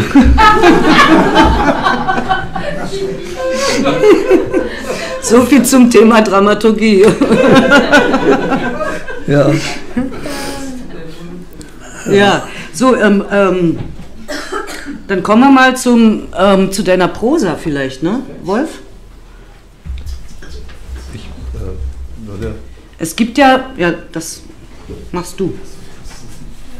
Wollen wir da, wollten wir nicht noch eine Musik einspielen? Ja, doch, wir spielen, genau. Denn wir haben. Ich noch mal eine Frage stellen, weil das ist für mich jetzt noch nicht ganz beantwortet. Ja. Eine Frage: Haben Sie denn auch mal ein Drehbuch für einen Schauspieler oder eine Schauspielerin geschrieben, wo Sie genau im Kopf hatten, das kann der am besten spielen, diese Story kann der am besten umsetzen? Gab es sowas? Ja, und ja und nein, sagen wir mal, natürlich, wenn Besetzen ist, ist spannend, wie hier irgendwo in einem Text stand, den wir hatten oder so. Man denkt natürlich nicht, man hat schlechte Partner, aber richtige oder falsche oder passen zwei Leute zusammen oder passen nicht zusammen. Das beschäftigt einen in der Woche, wo man das meist entscheiden muss und sagen, jetzt den oder die oder eben nicht. Das beschäftigt einen sehr und kann einem schlaflose Stunden äh, äh, ver, verschaffen. Ich habe, aber der, der, Sie fragen ja, ob ich von Anfang an beim Konzipieren einer Figur oder überhaupt zu sagen, die Geschichte fällt mir ein, weil mir diese Person einfällt, sowas eigentlich nicht, man kennt sich ja, die Szene in der DDR war nicht so groß und, und wunderbare Schauspieler. Und die Frage war immer, dass man sie auch kriegt, äh, wenn sie, weil sie Theaterverträge hatten oder mhm. sowas. Aber es wurde ja in Berlin großes Theater gespielt. Das muss man wirklich sagen. Und das hat, davon lebt die DEFA auch in ihren braveren Teilen, wo sie keinen avantgardisten Kino machen oder so, aber sie lebt von der, von der Grundqualität äh, eines, eines Theaterbetriebes in Berlin beispielsweise. Ja. ja, also so ganz direkt, dass ich zuerst an die Figur dachte, an den Schauspieler dachte. Und meist geht der Weg vom, von der Figur äh, in die Richtung mehrerer Schauspieler und dann fängst du an nachzudenken und vergleichst und natürlich versucht man alles zu wissen, was man wissen kann. Und man muss als wir anfingen, als ich vorhin erzählt habe von dem Neorealisten oder so, zu den, zu den Radikalismen unserer damaligen Überzeugung gehörte auch, dass wir keine Schauspieler haben wollten. Wir, wir dachten, äh, das Leben ist so sehr das Leben, dass da soll keiner stören, wenn er Schauspieler ist. Äh, und so eine, eine, eine völlig alberne Verkennung dessen, des Umstandes, dass das Publikum geht zu den Schauspielern. Deshalb gehen sie los äh, und hoffen auf etwas, was passiert. Aber ich würde sagen, so, das hat uns am Anfang beschäftigt, die, die, die, dass man, als, als wäre sozusagen eine eine saubere Materie verdorben, indem dann noch Leute, Leute zukommen, die auch mitmachen wollen. Das ist aber sehr schön, ja. Ein Film, ein Film ohne Schauspieler ist einfach super. Gibt es aber auch. Ja, ja, ja, ja. Ja, und dann gibt es auch Filme ohne Schauspieler und keiner weiß, dass es so ist. Nicht mal sie selbst. Ja. Aber das rundet, das rundet das Thema natürlich sehr schön ab, denn wir haben ja gehört, wie sich doch diese äh, Erkenntnis dann im Laufe der Zeit doch gebildet hat, dass am Ende das Tüpfelchen dann im, in, in der Rolle des Schauspielers liegt, der dem noch das letzte Leben einhaucht mit, mit, seiner, mit der Persönlichkeit, mit seinem Können. Und äh, ähm, ja. habe ich eine kurze Frage noch zur, zur äh, zur Musik. Wie weit haben Sie an, an Musiken, an die Filmmusiken ja. speziellen immer äh, gedacht für die, für die verschiedenen Produktionen oder im Allgemeinen? Ja, ja. Können Sie da ein Beispiel geben vielleicht? Ja, Musik ist, äh, äh, Musik ist meist schwierig, wenn man, weil man so wenig, nicht Mann, aber ich zum Beispiel, äh, wenn man so wenig von ihr weiß, und wenn man ihre, wie sie gemacht wird eigentlich, nicht, nicht wie sie wirkt, aber wie die Wirkung gemacht wird, äh, und man, man, man kennt die Begriffe nicht. Also sind das sehr meistens sehr komische Anfänge. Du, zeigst einem Kollegen, einem, wir haben mit der Zeit spezialisiert man sich auf bestimmte Partnerschaften. Also ich habe sehr viel gemacht zu Musiken von Günter Fischer, beziehungsweise er hat die Musiken zu dem gemacht, was ich geschrieben habe. Aber die Anfänge sind erstmal hören, nicht gleich reden, nachdenken. Jetzt kommen und, und, und ein Motiv suchen oder so. Motive sind, werden gern geklaut und sind etwas Schönes, wenn man eins hat. Meine ich, so ein Grundmuster für, für einen Film. Und man redet meist miteinander mit Händen und Füßen. Also, ich, also wenn, wenn wir jetzt Autor und Komponist wären, würde ich sagen, versteh mal, was ich, hinten, meine ich, die vorletzte Szene. Weißt du, das müsste nicht so sein, das müsste so sein. Und schon hat man Vokabular, wo beide wissen, was gemeint ist. Äh, wo beide was, hoffen, dass sie wissen, naja, was gemeint ist. Lassen wir so stehen. War es ja. denn auch so bei, bei, bei dem Bruch? Äh, ist ja auch dieser äh, Stück Tango für Paul, was wir gleich auch noch hören werden. Gab es da auch diese Hinweise? Oder hat man sich da auch verständigt? Oder Na, da hatte da ich den Text liegen, ja. die irgendwann mal gemacht oder ja. so. Und dann stellte sich heraus, vielleicht können wir den in dem Film für die Rolle, die Jürgen Weiter spielt, vielleicht können wir den Text gebrauchen. Und Fischer machte dann, schlug ein Motiv vor und so. Also da gab es den Text, aber das war zufällig, weil ich äh, immer, wenn ich nach Babelsberg fuhr, musste man unten um Berlin rumfahren. Äh, und ich habe dann versucht, so wenigstens irgendwas zu singen, während ich jeden Tag denselben Weg hatte. Und also es gab diesen Text und keine Melodie und das ist so eine Art Chanson-Text. Ja. Äh, der Text ist da allerdings wichtiger. Also die Musik schwimmt mit und führt den Text. Und Dann hören wir uns das doch mal kann an. Kann man sich das anhören, wenn man will. Das ist äh, der Bruch Tango für Paul. Habt ihr der Bruch? Ja. Der Bruch, genau, Tango für Paul mit Jürgen Walter. Lange gesucht und doch gefunden. Jetzt hören wir es uns einfach mal an. Dank Jörg Stempel haben wir den endlich bekommen auch. Jörg Stempel hat ihn zur Verfügung gestellt. Und Sampler Günter Fischer.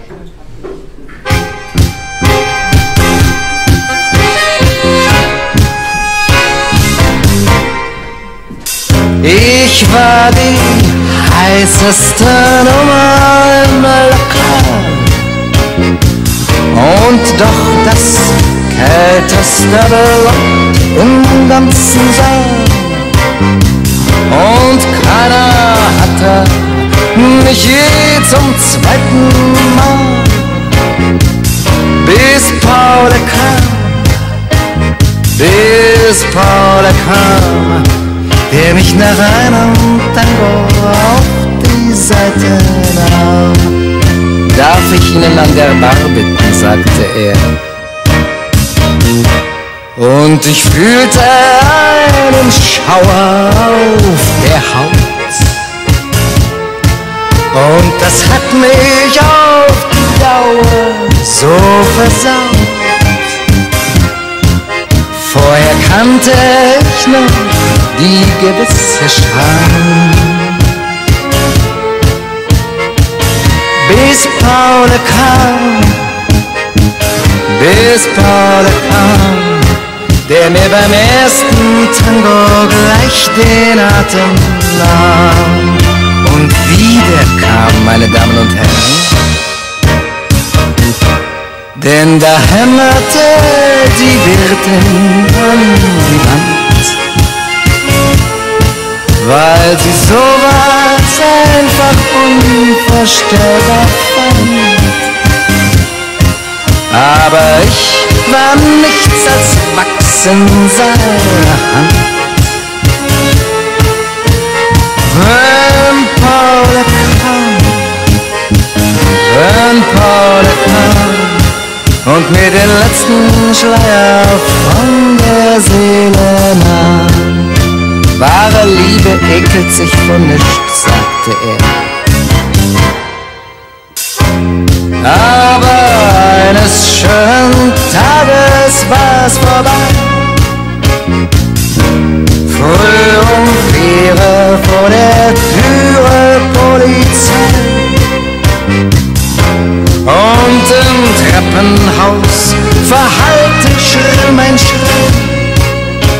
Als Paul kam, als Paul kam, den sie mit einer Acht in ihr Gewahrsam nahm. Langsam, Posse, sagte er. Und mir blieb nur dieser Schauer auf der Haut. Und das hat mich auf die Dauer so versaut. Fremde Kerls am Hals und alle sind sie dann. Stell ich mir vor, wie Paul kam und mich beim ersten Tango in den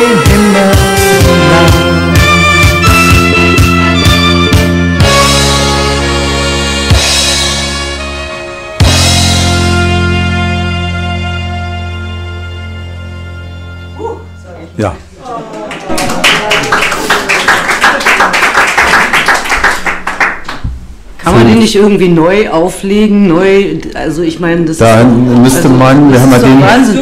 Ich, Wir glaube, haben- das, ich glaube, das ist, das wäre ein absoluter Hit heute, ja, wenn man ja, das irgendwie. wir haben ja den, den Amiga-Chef, haben wir ja hier sitzen, vielleicht kann der Einfluss nehmen, da reden wir vielleicht später drüber. Ähm, in der Endlosschleife laufen. ja, sehr schönes Stück. Ähm, gibt es den Titel und äh, Günther wird ja äh, 2024 80. Nein. Und äh, da hat mir der Kollege, der wirklich die Feder anbrachte, mich auf die Idee gebracht, nochmal die Vinyl aufzulegen. So, ja, Ja. das wäre doch schon mal was. Also insofern, ja, Danke für die Anregung und ein schöner Titel. Günther hätte den wahrscheinlich aus sich heraus nie komponiert, aber aufgrund der Textvorlage des Films hat er auch solche Songs geschrieben, weil er Ja, großartig. So, wir haben äh, aus dem vorhin äh, äh, Texte gehört aus dem Buch Um die Ecke in der Welt über äh, Filme und Freunde von Wolfgang Kohlhase. Und äh, Herr Kohlhase, Sie haben ja auch äh, ein äh, Prosa-Band äh, geschrieben, der veröffentlicht jetzt auch wieder veröffentlicht wurde. Jetzt muss ich gucken, natürlich. Unter, bei- ähm, unter zwei Namen bei, von zwei Also der, der ursprüngliche Erzählband äh, hieß äh, Silvester mit Balzac, ist 1977 bei Aufbau erschienen und das, was jetzt neu bei Wagenbach aufgelegt wurde, heißt äh, Erfindung einer Sprache. Das ist auch eine Erzählung aus diesem äh, Band. Und das ist jetzt ganz neu bei Wagenbach nochmal aufgelegt worden und auch bei Moloko Print mit Illustrationen von Frank Diersch, auch eine sehr schöne Unter dem Ausgabe. Originaltitel. Unter dem Originaltitel. Und Silvester alles hier heute auch zu haben im Anschluss, wer noch ein bisschen Zeit äh, mitbringt. Und daraus äh, wollen wir jetzt auch einiges hören. Ich würde dann der Dame den Vortritt geben. Bastian, was, was liest du uns? Ja, ich, ich lese eine, eine kleine Geschichte aus dem Erzählband, die heißt Johanniter und Blei.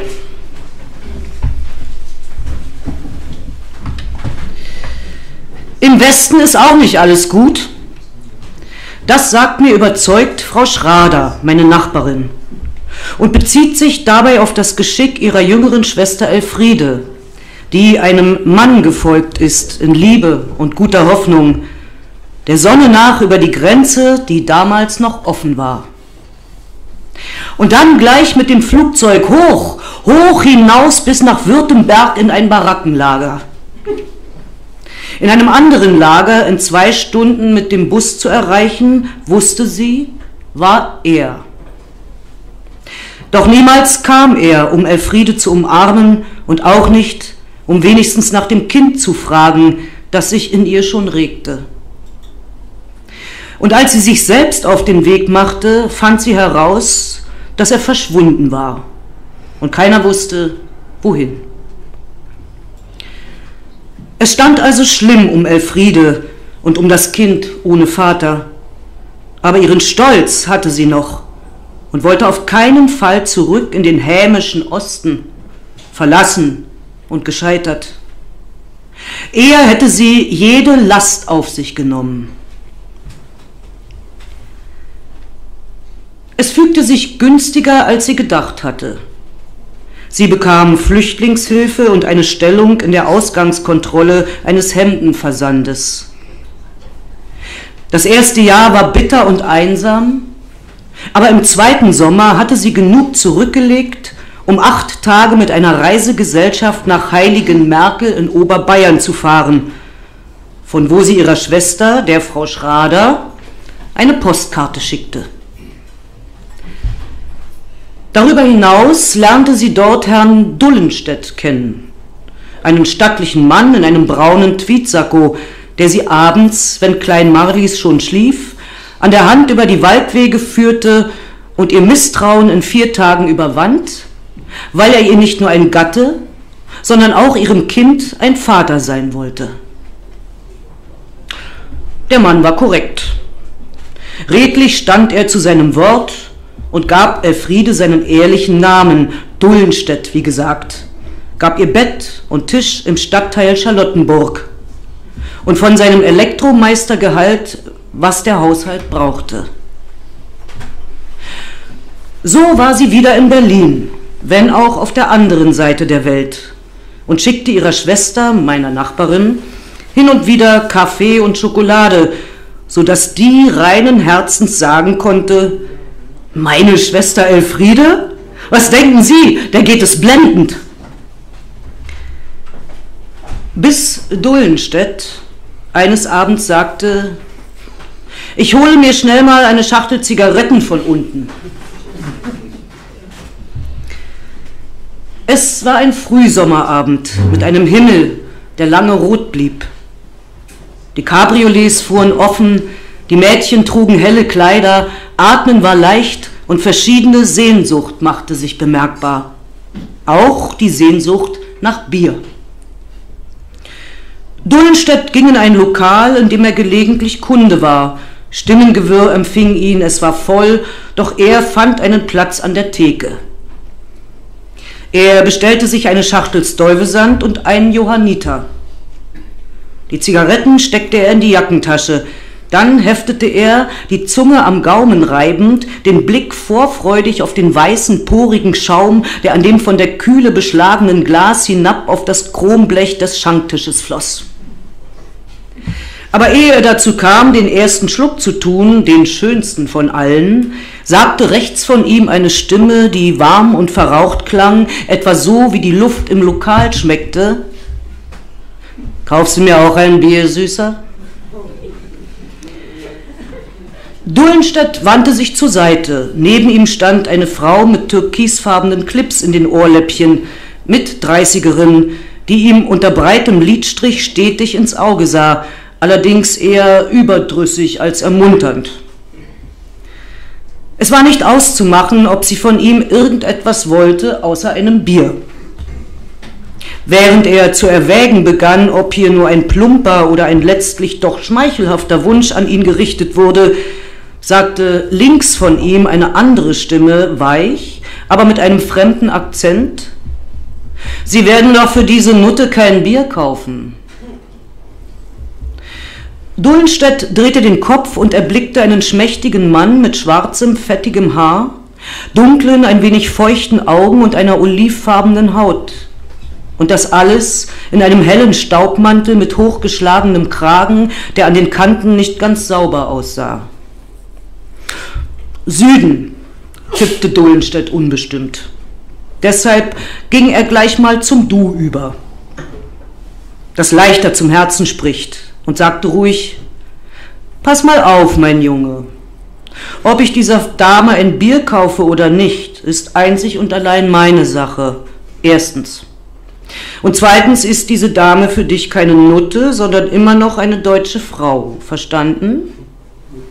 Dann rief er, jetzt klar entschlossen, noch ein Johanniter über die Theke und nahm endlich einen langen Schluck aus seinem Glas und sah sich auch einmal nach der Frau mit den Ohrclips um, aber die lächelte nur rätselhaft.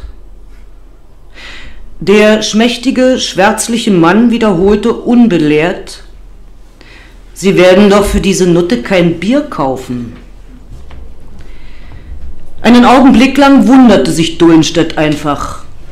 Der Akzent schien ihm jetzt französisch zu klingen, aber das musste im Moment ungeklärt bleiben. Und auch, welche Fäden sich weben mochten zwischen dem da und der Frau an seiner anderen Seite, zog Dullenstedt nicht in Betracht. Blond, stämmig und deutschstämmig Elektriker mit Abendschule, trat er für sein überliefertes Recht ein, Bier zu spendieren, für wen er wollte und wann er wollte, noch dazu in Charlottenburg. Vielleicht sah er nicht, dass die Mundwinkel des Nichthiesigen unbegreiflich zuckten. Vielleicht sah er es durchaus. Was gingen ihn ausländische Mundwinkel an? Er stellte sein Glas vernehmlich ab und sagte, das ist vielleicht bei euch so in der verlausten Gegend, wo du herkommst und wo ihr die Fensterritzen mit Kamelmist verschmiert, dass da in den Kneipen bloß Nutten rumstehen, wenn ihr überhaupt Kneipen habt. Das ist noch die Frage. Aber gesetzt mal den Fall und angenommen, also du lungerst da rum und lässt für so eine Schicksal ein Bier springen und ich stehe zufällig daneben, dann werde ich ja auch nicht sagen, dass du dieser Nutte kein Bier kaufen sollst. Weil mich das nämlich gar nichts angeht. Verstehst du?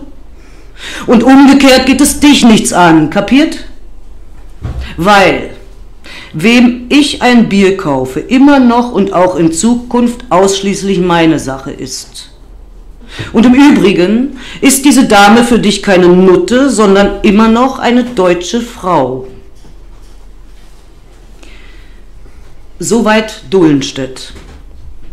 Der andere fasste ihm darauf an die Jacke. Dohlenstedt gab ihm einen Stoß. Der Wirt und zwei robuste Stammkunden zögerten nicht und warfen den gestikulierenden Mann, dessen Protest keiner verstand, vor die Tür. Der spinnt nämlich, sagte die Frau. Doch Dullenstedt, nachdem er seine Ehre gewahrt hatte, war sich der ihrigen nicht mehr so sicher. Als häuslichen Mann fiel ihm Elfriede ein, die jetzt im Fernsehen die Ratesendung sah. Er zahlte die beiden Bier und die Zigaretten und ging hinaus in die sanfte Dämmerung. Jemand trat auf ihn zu. Aus dunklem marokkanischem Stolz sprang ein grelles Licht, sprang aus schwarzem, am Taschenfutter blank geriebenen Stahl direkt in Dullenstedts Augen. Und drinnen hörten sie, was er schon nicht mehr vernahm, den Schuss. Und jetzt, sagt Frau Schrader und beendet damit ihren Bericht über das Problematische des Westens, jetzt hat meine Schwester wieder keinen Mann.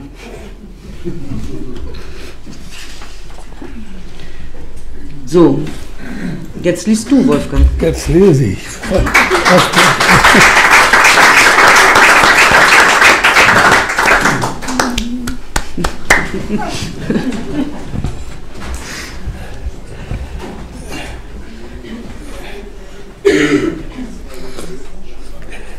Das ist keine Kurzgeschichte, sondern eine sehr kurze Geschichte. Sie haben so einen festen Händedruck, sagt der Kohlenhändler. Ich winke ab. Doch, doch, sagt der Kohlenhändler, üben Sie nebenbei ein Handwerk aus? Das kann ich wirklich nicht sagen. Oder treiben Sie vielleicht Sport? Ich winke wieder ab, aber meine Eitelkeit gebietet mir zu sagen, dass natürlich ab und zu sonnabends früh viel zu selten allerdings ein wenig Gymnastik, ein bisschen Boxen am Sandsack. Kennen Sie Cassius Clay? fragt der Kohlenhändler. Natürlich, sage ich. Gut, was? Sehr gut. Aber Sie selbst aktiv nicht, was? Früher habe ich mal Fußball gespielt. Das ist auch schön, sehr ästhetisch, jedenfalls im Fernsehen, sagt der Kohlenhändler. Ich meine, ich bin gar nicht sicher, ob ich selber so einen Fußball überhaupt richtig treffen würde. Aber ich sehe es mir gern an, tatsächlich. Der Kohlenhändler ist ein kleiner, sklerotisch wirkender Mann, endsichtiger mit rosiger Haut und zwinkernden Augen. Er erinnert an einen Lord im Farbfilm. Ich selbst bin mehr Turnierreiter und Kavallerist, sagt er. So, sage ich erstaunt. Ja, sagt er. Aber mit der Kavallerie ist es ja vorbei heute. Leider, tatsächlich. Nun wollen wir mal zugeben, sie würde ja auch nicht mehr richtig reinpassen, nicht wahr? Das stimmt allerdings, gebe ich zu. Obgleich es schade ist. Sehen Sie, von der Kavallerie hat doch ein großer Teil der Wirtschaft gelebt. Nehmen Sie nur Zaumzeug und Sättel, die Sattler die Schmiede, der Hafer, die Landwirtschaft, überhaupt die Pferdezucht. Na und die Gaststätten? Na und ob? Das waren doch alles Freiwillige bei der Kavallerie. Die gaben Geld aus. Daran denkt man gar nicht, so räume ich ein. Was meinen Sie, sagt der Kohlenhändler. Ich war Leipziger Ulan. In Leipzig waren Ulanen? Natürlich, sagt er. Und in Torgau waren die Husaren und in Großenhain auch.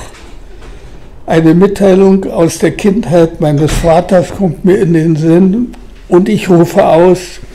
Und in Pasewalk waren die Kürassiere. Richtig, sagt der Kohlenhändler. Und in Parchim waren die Dragoner und in Stendal waren die Husaren und in Quedlinburg die Kürassiere und in Halberstadt auch und in Gardelegen waren wieder die Ulla. Er nickt mir triumphierend zu, Morgenrot, Morgenrot, leuchtest mir zum frühen Tod.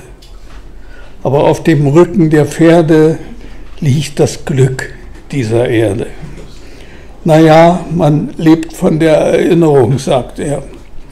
Vorbei ist vorbei, sage ich. Das waren 10 Zentner Briketts und 5 Zentner Koks, wenn es möglich ist. Naja, sagt er, klappt schon. Wir reichen uns die Hand, ich steige in mein Auto, aber so wie er mich ansieht, scheiden wir als Reiter.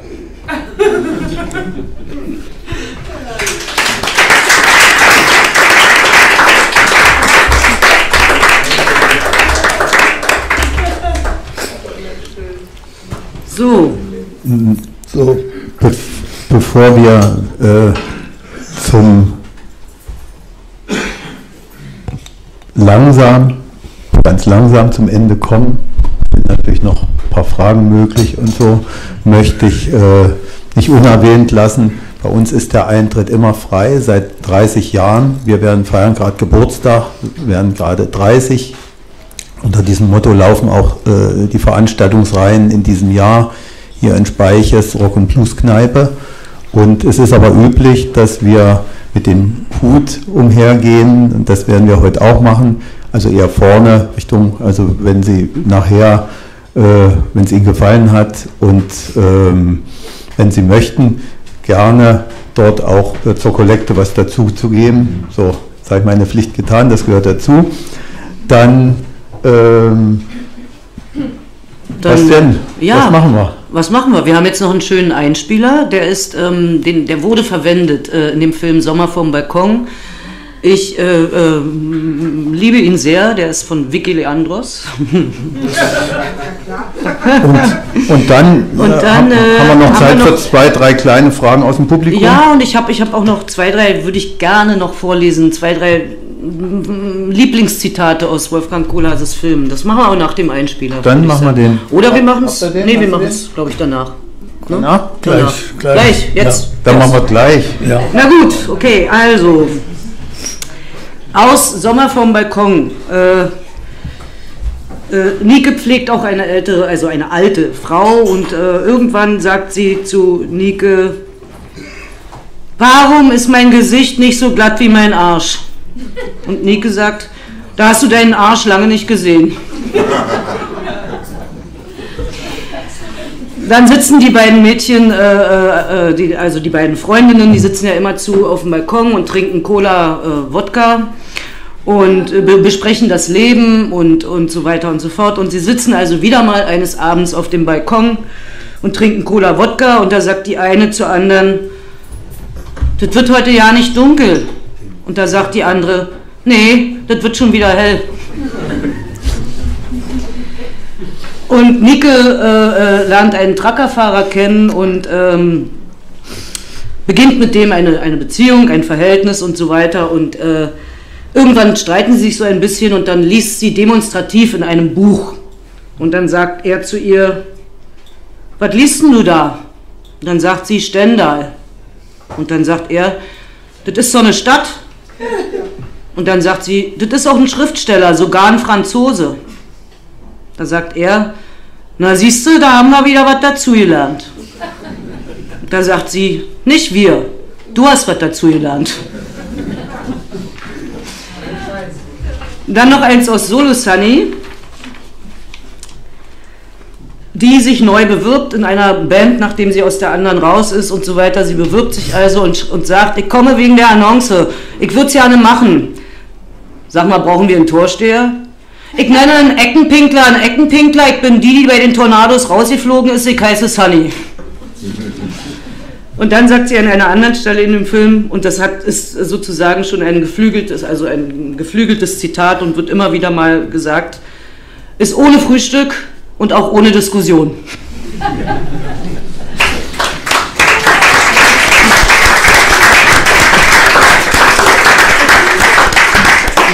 So, und jetzt machen wir den Einspieler, ne?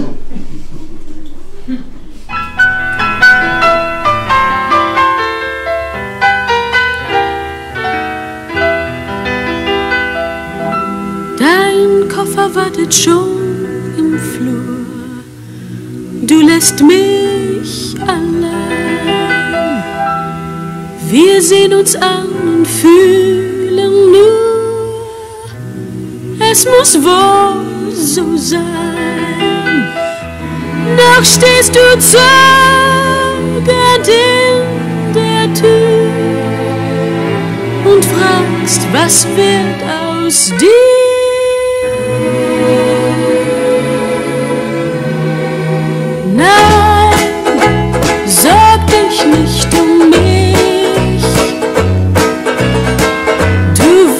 Deixe-lhe me pedacinho.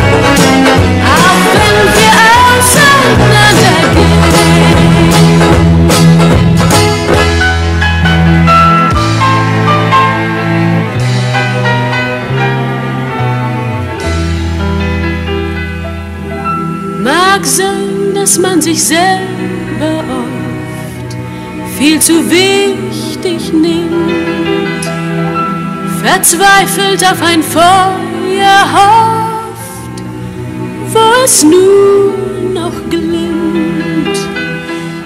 Wenn sowas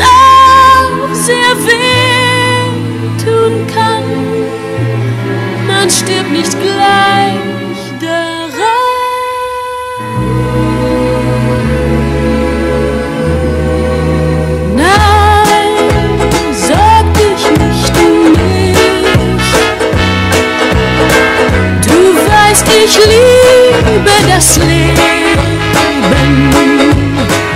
und weine ich manchmal noch um dich. Das geht vorüber, sicherlich.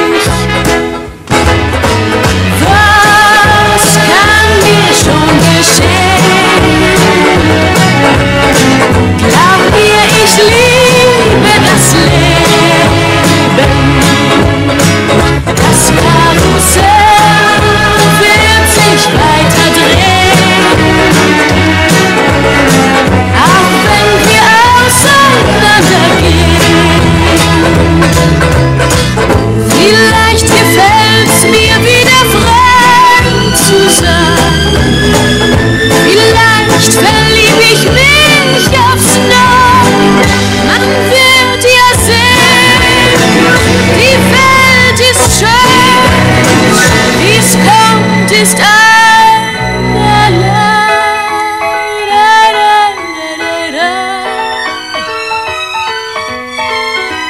weißt, ich liebe das Leben.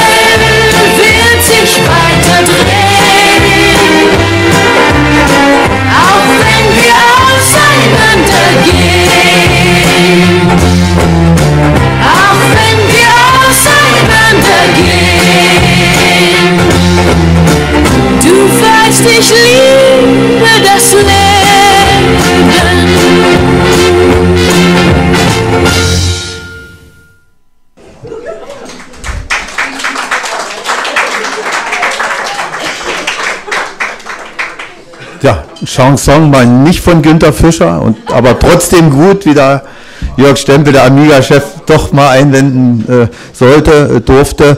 Wir müssen jetzt natürlich noch nicht auseinandergehen. Äh, wir können vielleicht zwei, drei kleine Fragen auch noch aus dem Publikum beantworten. Und der, der äh, äh, Jörg, du hattest da schon was?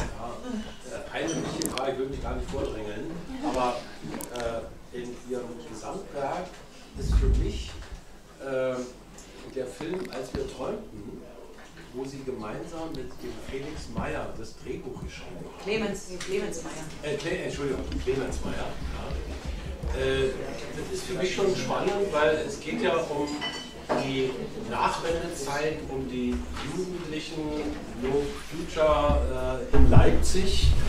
Und dass Clemens Meyer da was zu sagen hat, ist klar, der kommt ja aus dieser Bewegung, aber Sie waren damals schon etwa erwachsen. und äh, ja, wie man dafür ein Gefühl haben kann und dieses Drehbuch gemeinsam schreibt, das ist für mich so ja, spannend, ein Rätsel. Wie, wie, wie, wie, wie ist die Nähe gewesen, dass Sie dieses äh, Drehbuch mitschreiben konnten? Ja, das Also- soll ich sagen. Ich muss, kleinen Moment, ich muss ganz kurz fürs, für den Sender, weil das wird natürlich nicht mit, äh, das erfasst das Mikro nicht. Also der Jörg Stempel stellte eine Frage zu dem äh, Film, als wir träumten, wie es, äh, äh, ja, Na, wie sich so eine Zusammenarbeit am Ende das- äh, äh, genau. realisiert mit, mit, mit dem jungen Clemens Ja, Meyer. Also generationsübergreifend. Eine Szene, die eigentlich Jugendliche betrifft, die nicht wussten, wo es lang geht und was jetzt sie erwartet, äh, wie es weitergeht in ihrem Leben. Ja. Andreas Dresen war ja schon Ja, Zusammenarbeit. naja, es ist, in, ich erinnere mich, dass äh, Andi Drösen, der ein, mit dem ich ja öfter was gemacht habe, der ein wunderbarer Regisseur ist, dass er, ich will nicht sagen überwältigt, aber äh, tief berührt war von der Realität dieser Generation, die da in dem Film die jungen Leute darstellt und, und dass die eigentlich so glaubhaft waren und dass die dass der Film, der sehr laut ist, nebenbei gesagt, äh, in meiner Erinnerung und auch als wir ihn damals machten, dachte ich, ist der nicht vielleicht zu laut? Also, Mhm. ähm, aber ich kann das nicht beurteilen, wenn, weil die das Kriterium waren eigentlich, gucken sich den junge Leute an. Äh, an die wendet er sich ja eigentlich auch. Äh, also, und wenn Sie diesen Eindruck haben, da, da geht nichts verloren, da kommt von dem Lebensgefühl etwas rüber, dann ist das ein Verdienst dieser, dieser Halbkinder, die sie noch sind. Sie waren ja alle so 16, 17, 18 oder so. Und der Sorgfalt, mit der äh, Andi Dresen mit ihnen umgegangen ist. Und, und das kann ich nur sagen, Dankeschön, wenn es Ihnen gefallen hat, meine ich.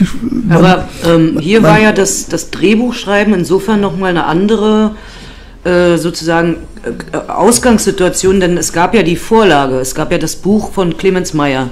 Das ist nochmal ein anderes Herangehen, ähm, denke ich, Ja. als wenn man keine Vorlage hat. Ja, ja, aber- äh, und äh, die, mir fällt nur ein, die Ja. schöne Geschichte auch wieder von dir. Als du zum ersten Mal was geschrieben hast für den Start, weil er fragte, wie geht das? Wie kann diese Generation mit deiner Generation so gut zusammenarbeiten? In dem Fall Clemens Meyer und du, was das Drehbuchschreiben äh, angeht. Und da gibt es die schöne Geschichte von dir, äh, was du geschrieben hast. Als allererstes, da warst du, glaube ich, 16, hast du für diese Jugendzeitschrift einen Text geschrieben und dazu gab es einen Kommentar. Und dann gab es nochmal eine große Rezension in der Berliner Zeitung, als du Sommer vom Balkon geschrieben hattest. Und das ist ähm, so, so, so viel zum Thema Generationen. Ja, äh, warte mal, ich wollte nur noch dazu was, was sagen, glaube ich. Aber also ich erzähle erst mal das, was mir einfällt, was du meinst. Ja, ja. Nein, ich hatte so mit 16 an Zeitungen geschrieben und zwar immer mit dem mit so einem Eröffnungstext. Das ist schon lange mein inniger Wunsch, äh, für eine Zeitung zu arbeiten und könnten Sie mir sagen, was man machen muss und so weiter. Und hab, war ja aus der Mittelschule gekommen. Äh, und dann wurde ein kleiner Text veröffentlicht. Und das Herz schlug mir zum Hals und das roch nach Druckerschwärze. Und, äh, und die Redaktion hatte allerdings äh, einen kleinen Zusatztext äh, vorangesetzt. Und da stand, dieses Manuskript schrieb erstaunlicherweise der 16-jährige Wolfgang Kohlhase. Und ich las das und dachte, es wäre ja nicht nötig gewesen. und ein, ein Leben danach hatte ich ein Drehbuch geschrieben, Sommer vom Balkon. Und in einer wohlmeinenden Filmkritik stand geschrieben, äh, dieses Drehbuch schrieb erstaunlicherweise der 75-Jährige. Und still und mit mir selbst dachte ich, das wäre ja nicht nötig.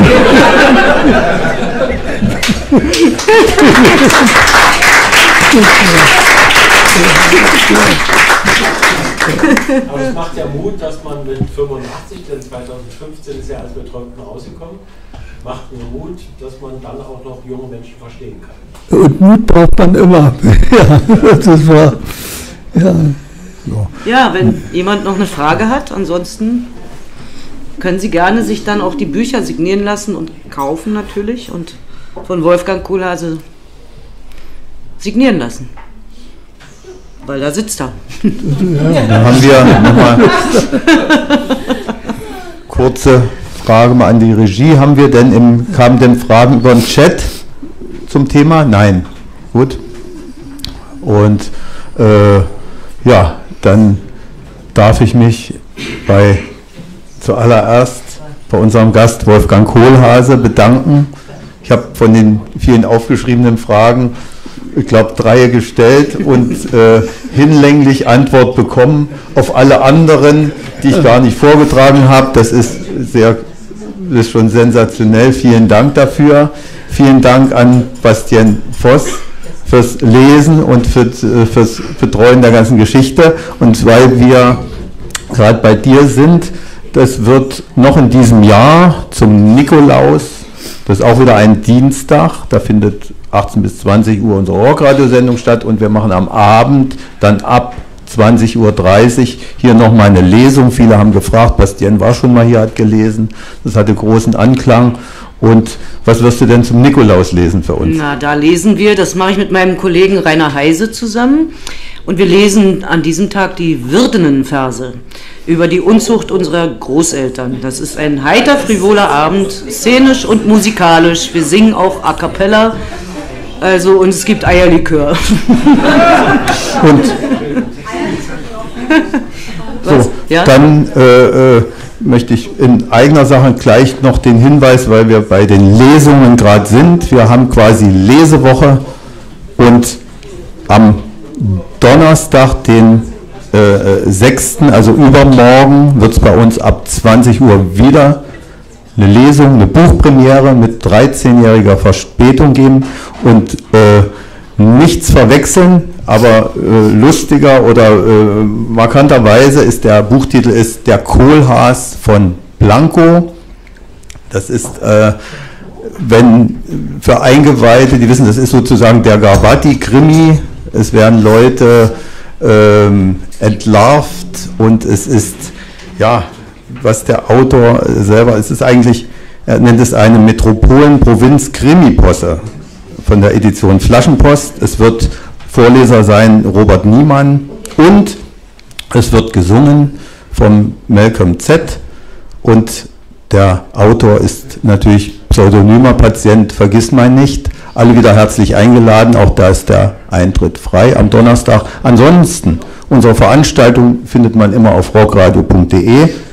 Das dazu, jetzt darf ich mich beim Publikum bei allen, die Fragen gestellt haben oder auch keine, uns sehr aufmerksam zugehört haben, bei allen, die damit was zu tun hatten, viele Gäste, viele bekannte äh, Gesichter auch im Publikum, darf äh, mich auch nochmal, äh, hatte ich eingangs gar nicht erwähnt, äh, wir haben äh, noch eine Persönlichkeit aus der Emmeke Pösteni ist natürlich auch heute hier, die seit äh, äh die bekannte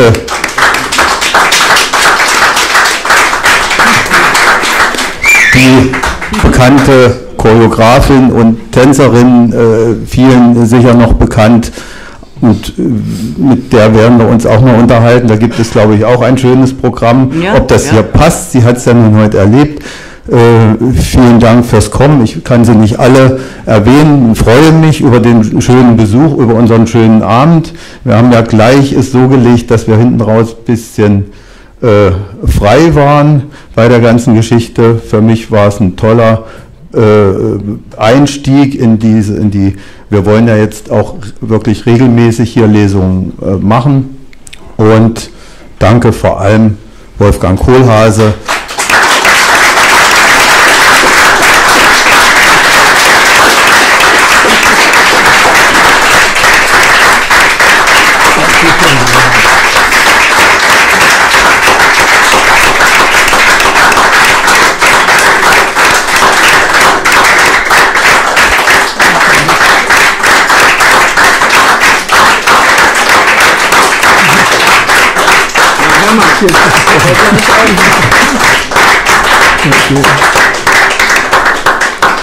Ja, Wolf, und wir danken dir, dass du das hier ermöglicht hast heute.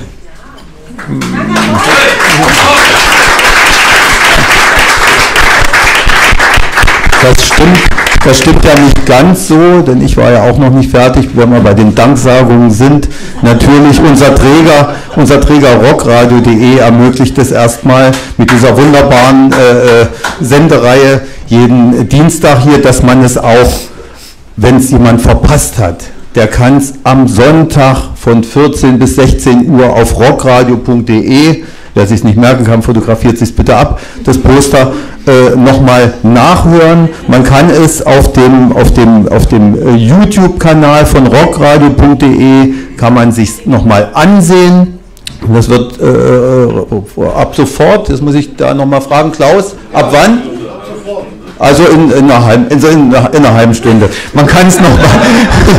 Und ähm, sowie die anderen äh, Sendungen eine besondere äh, Reihe zu unserem Jubiläum. Wir machen jeden Mittwoch im Soda Club in der Kulturbrauerei unser 30 Jahre Speiches Rock und Blues Kneipe Festival. Erst im Sommer, jetzt drinnen. Auch das finden Sie alle dort.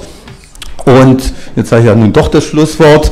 Äh, also nochmals vielen Dank und bleiben Sie uns treu, kommen Sie wieder und haben Sie Freude, bleiben Sie schön gesund. Und ja, danke an alle. So.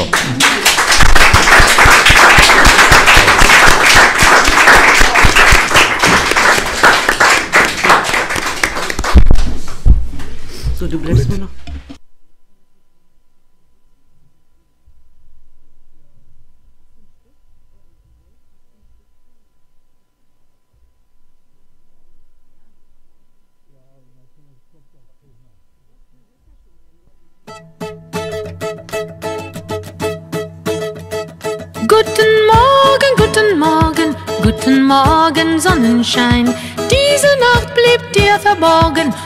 Du darfst nicht traurig sein. Guten Morgen, Sonnenschein. Nein, du darfst nicht traurig sein. Guten Morgen, Sonnenschein. Weck mich auf und komm herein. Alles kannst du ja sehen auf dieser Erde, auf dieser Erde. Doch nun ist es geschehen, dass ich auch ohne dich glücklich werde. Die allerschönsten Stunden in meinem Leben, in meinem Leben, hab ich heute Nacht gefunden. So ist das eben. Guten Morgen, guten Morgen, guten Morgen, Sonnenschein. Diese Nacht liegt dir verborgen, doch du darfst nicht traurig sein. Guten Morgen, guten Morgen, weck mich auf.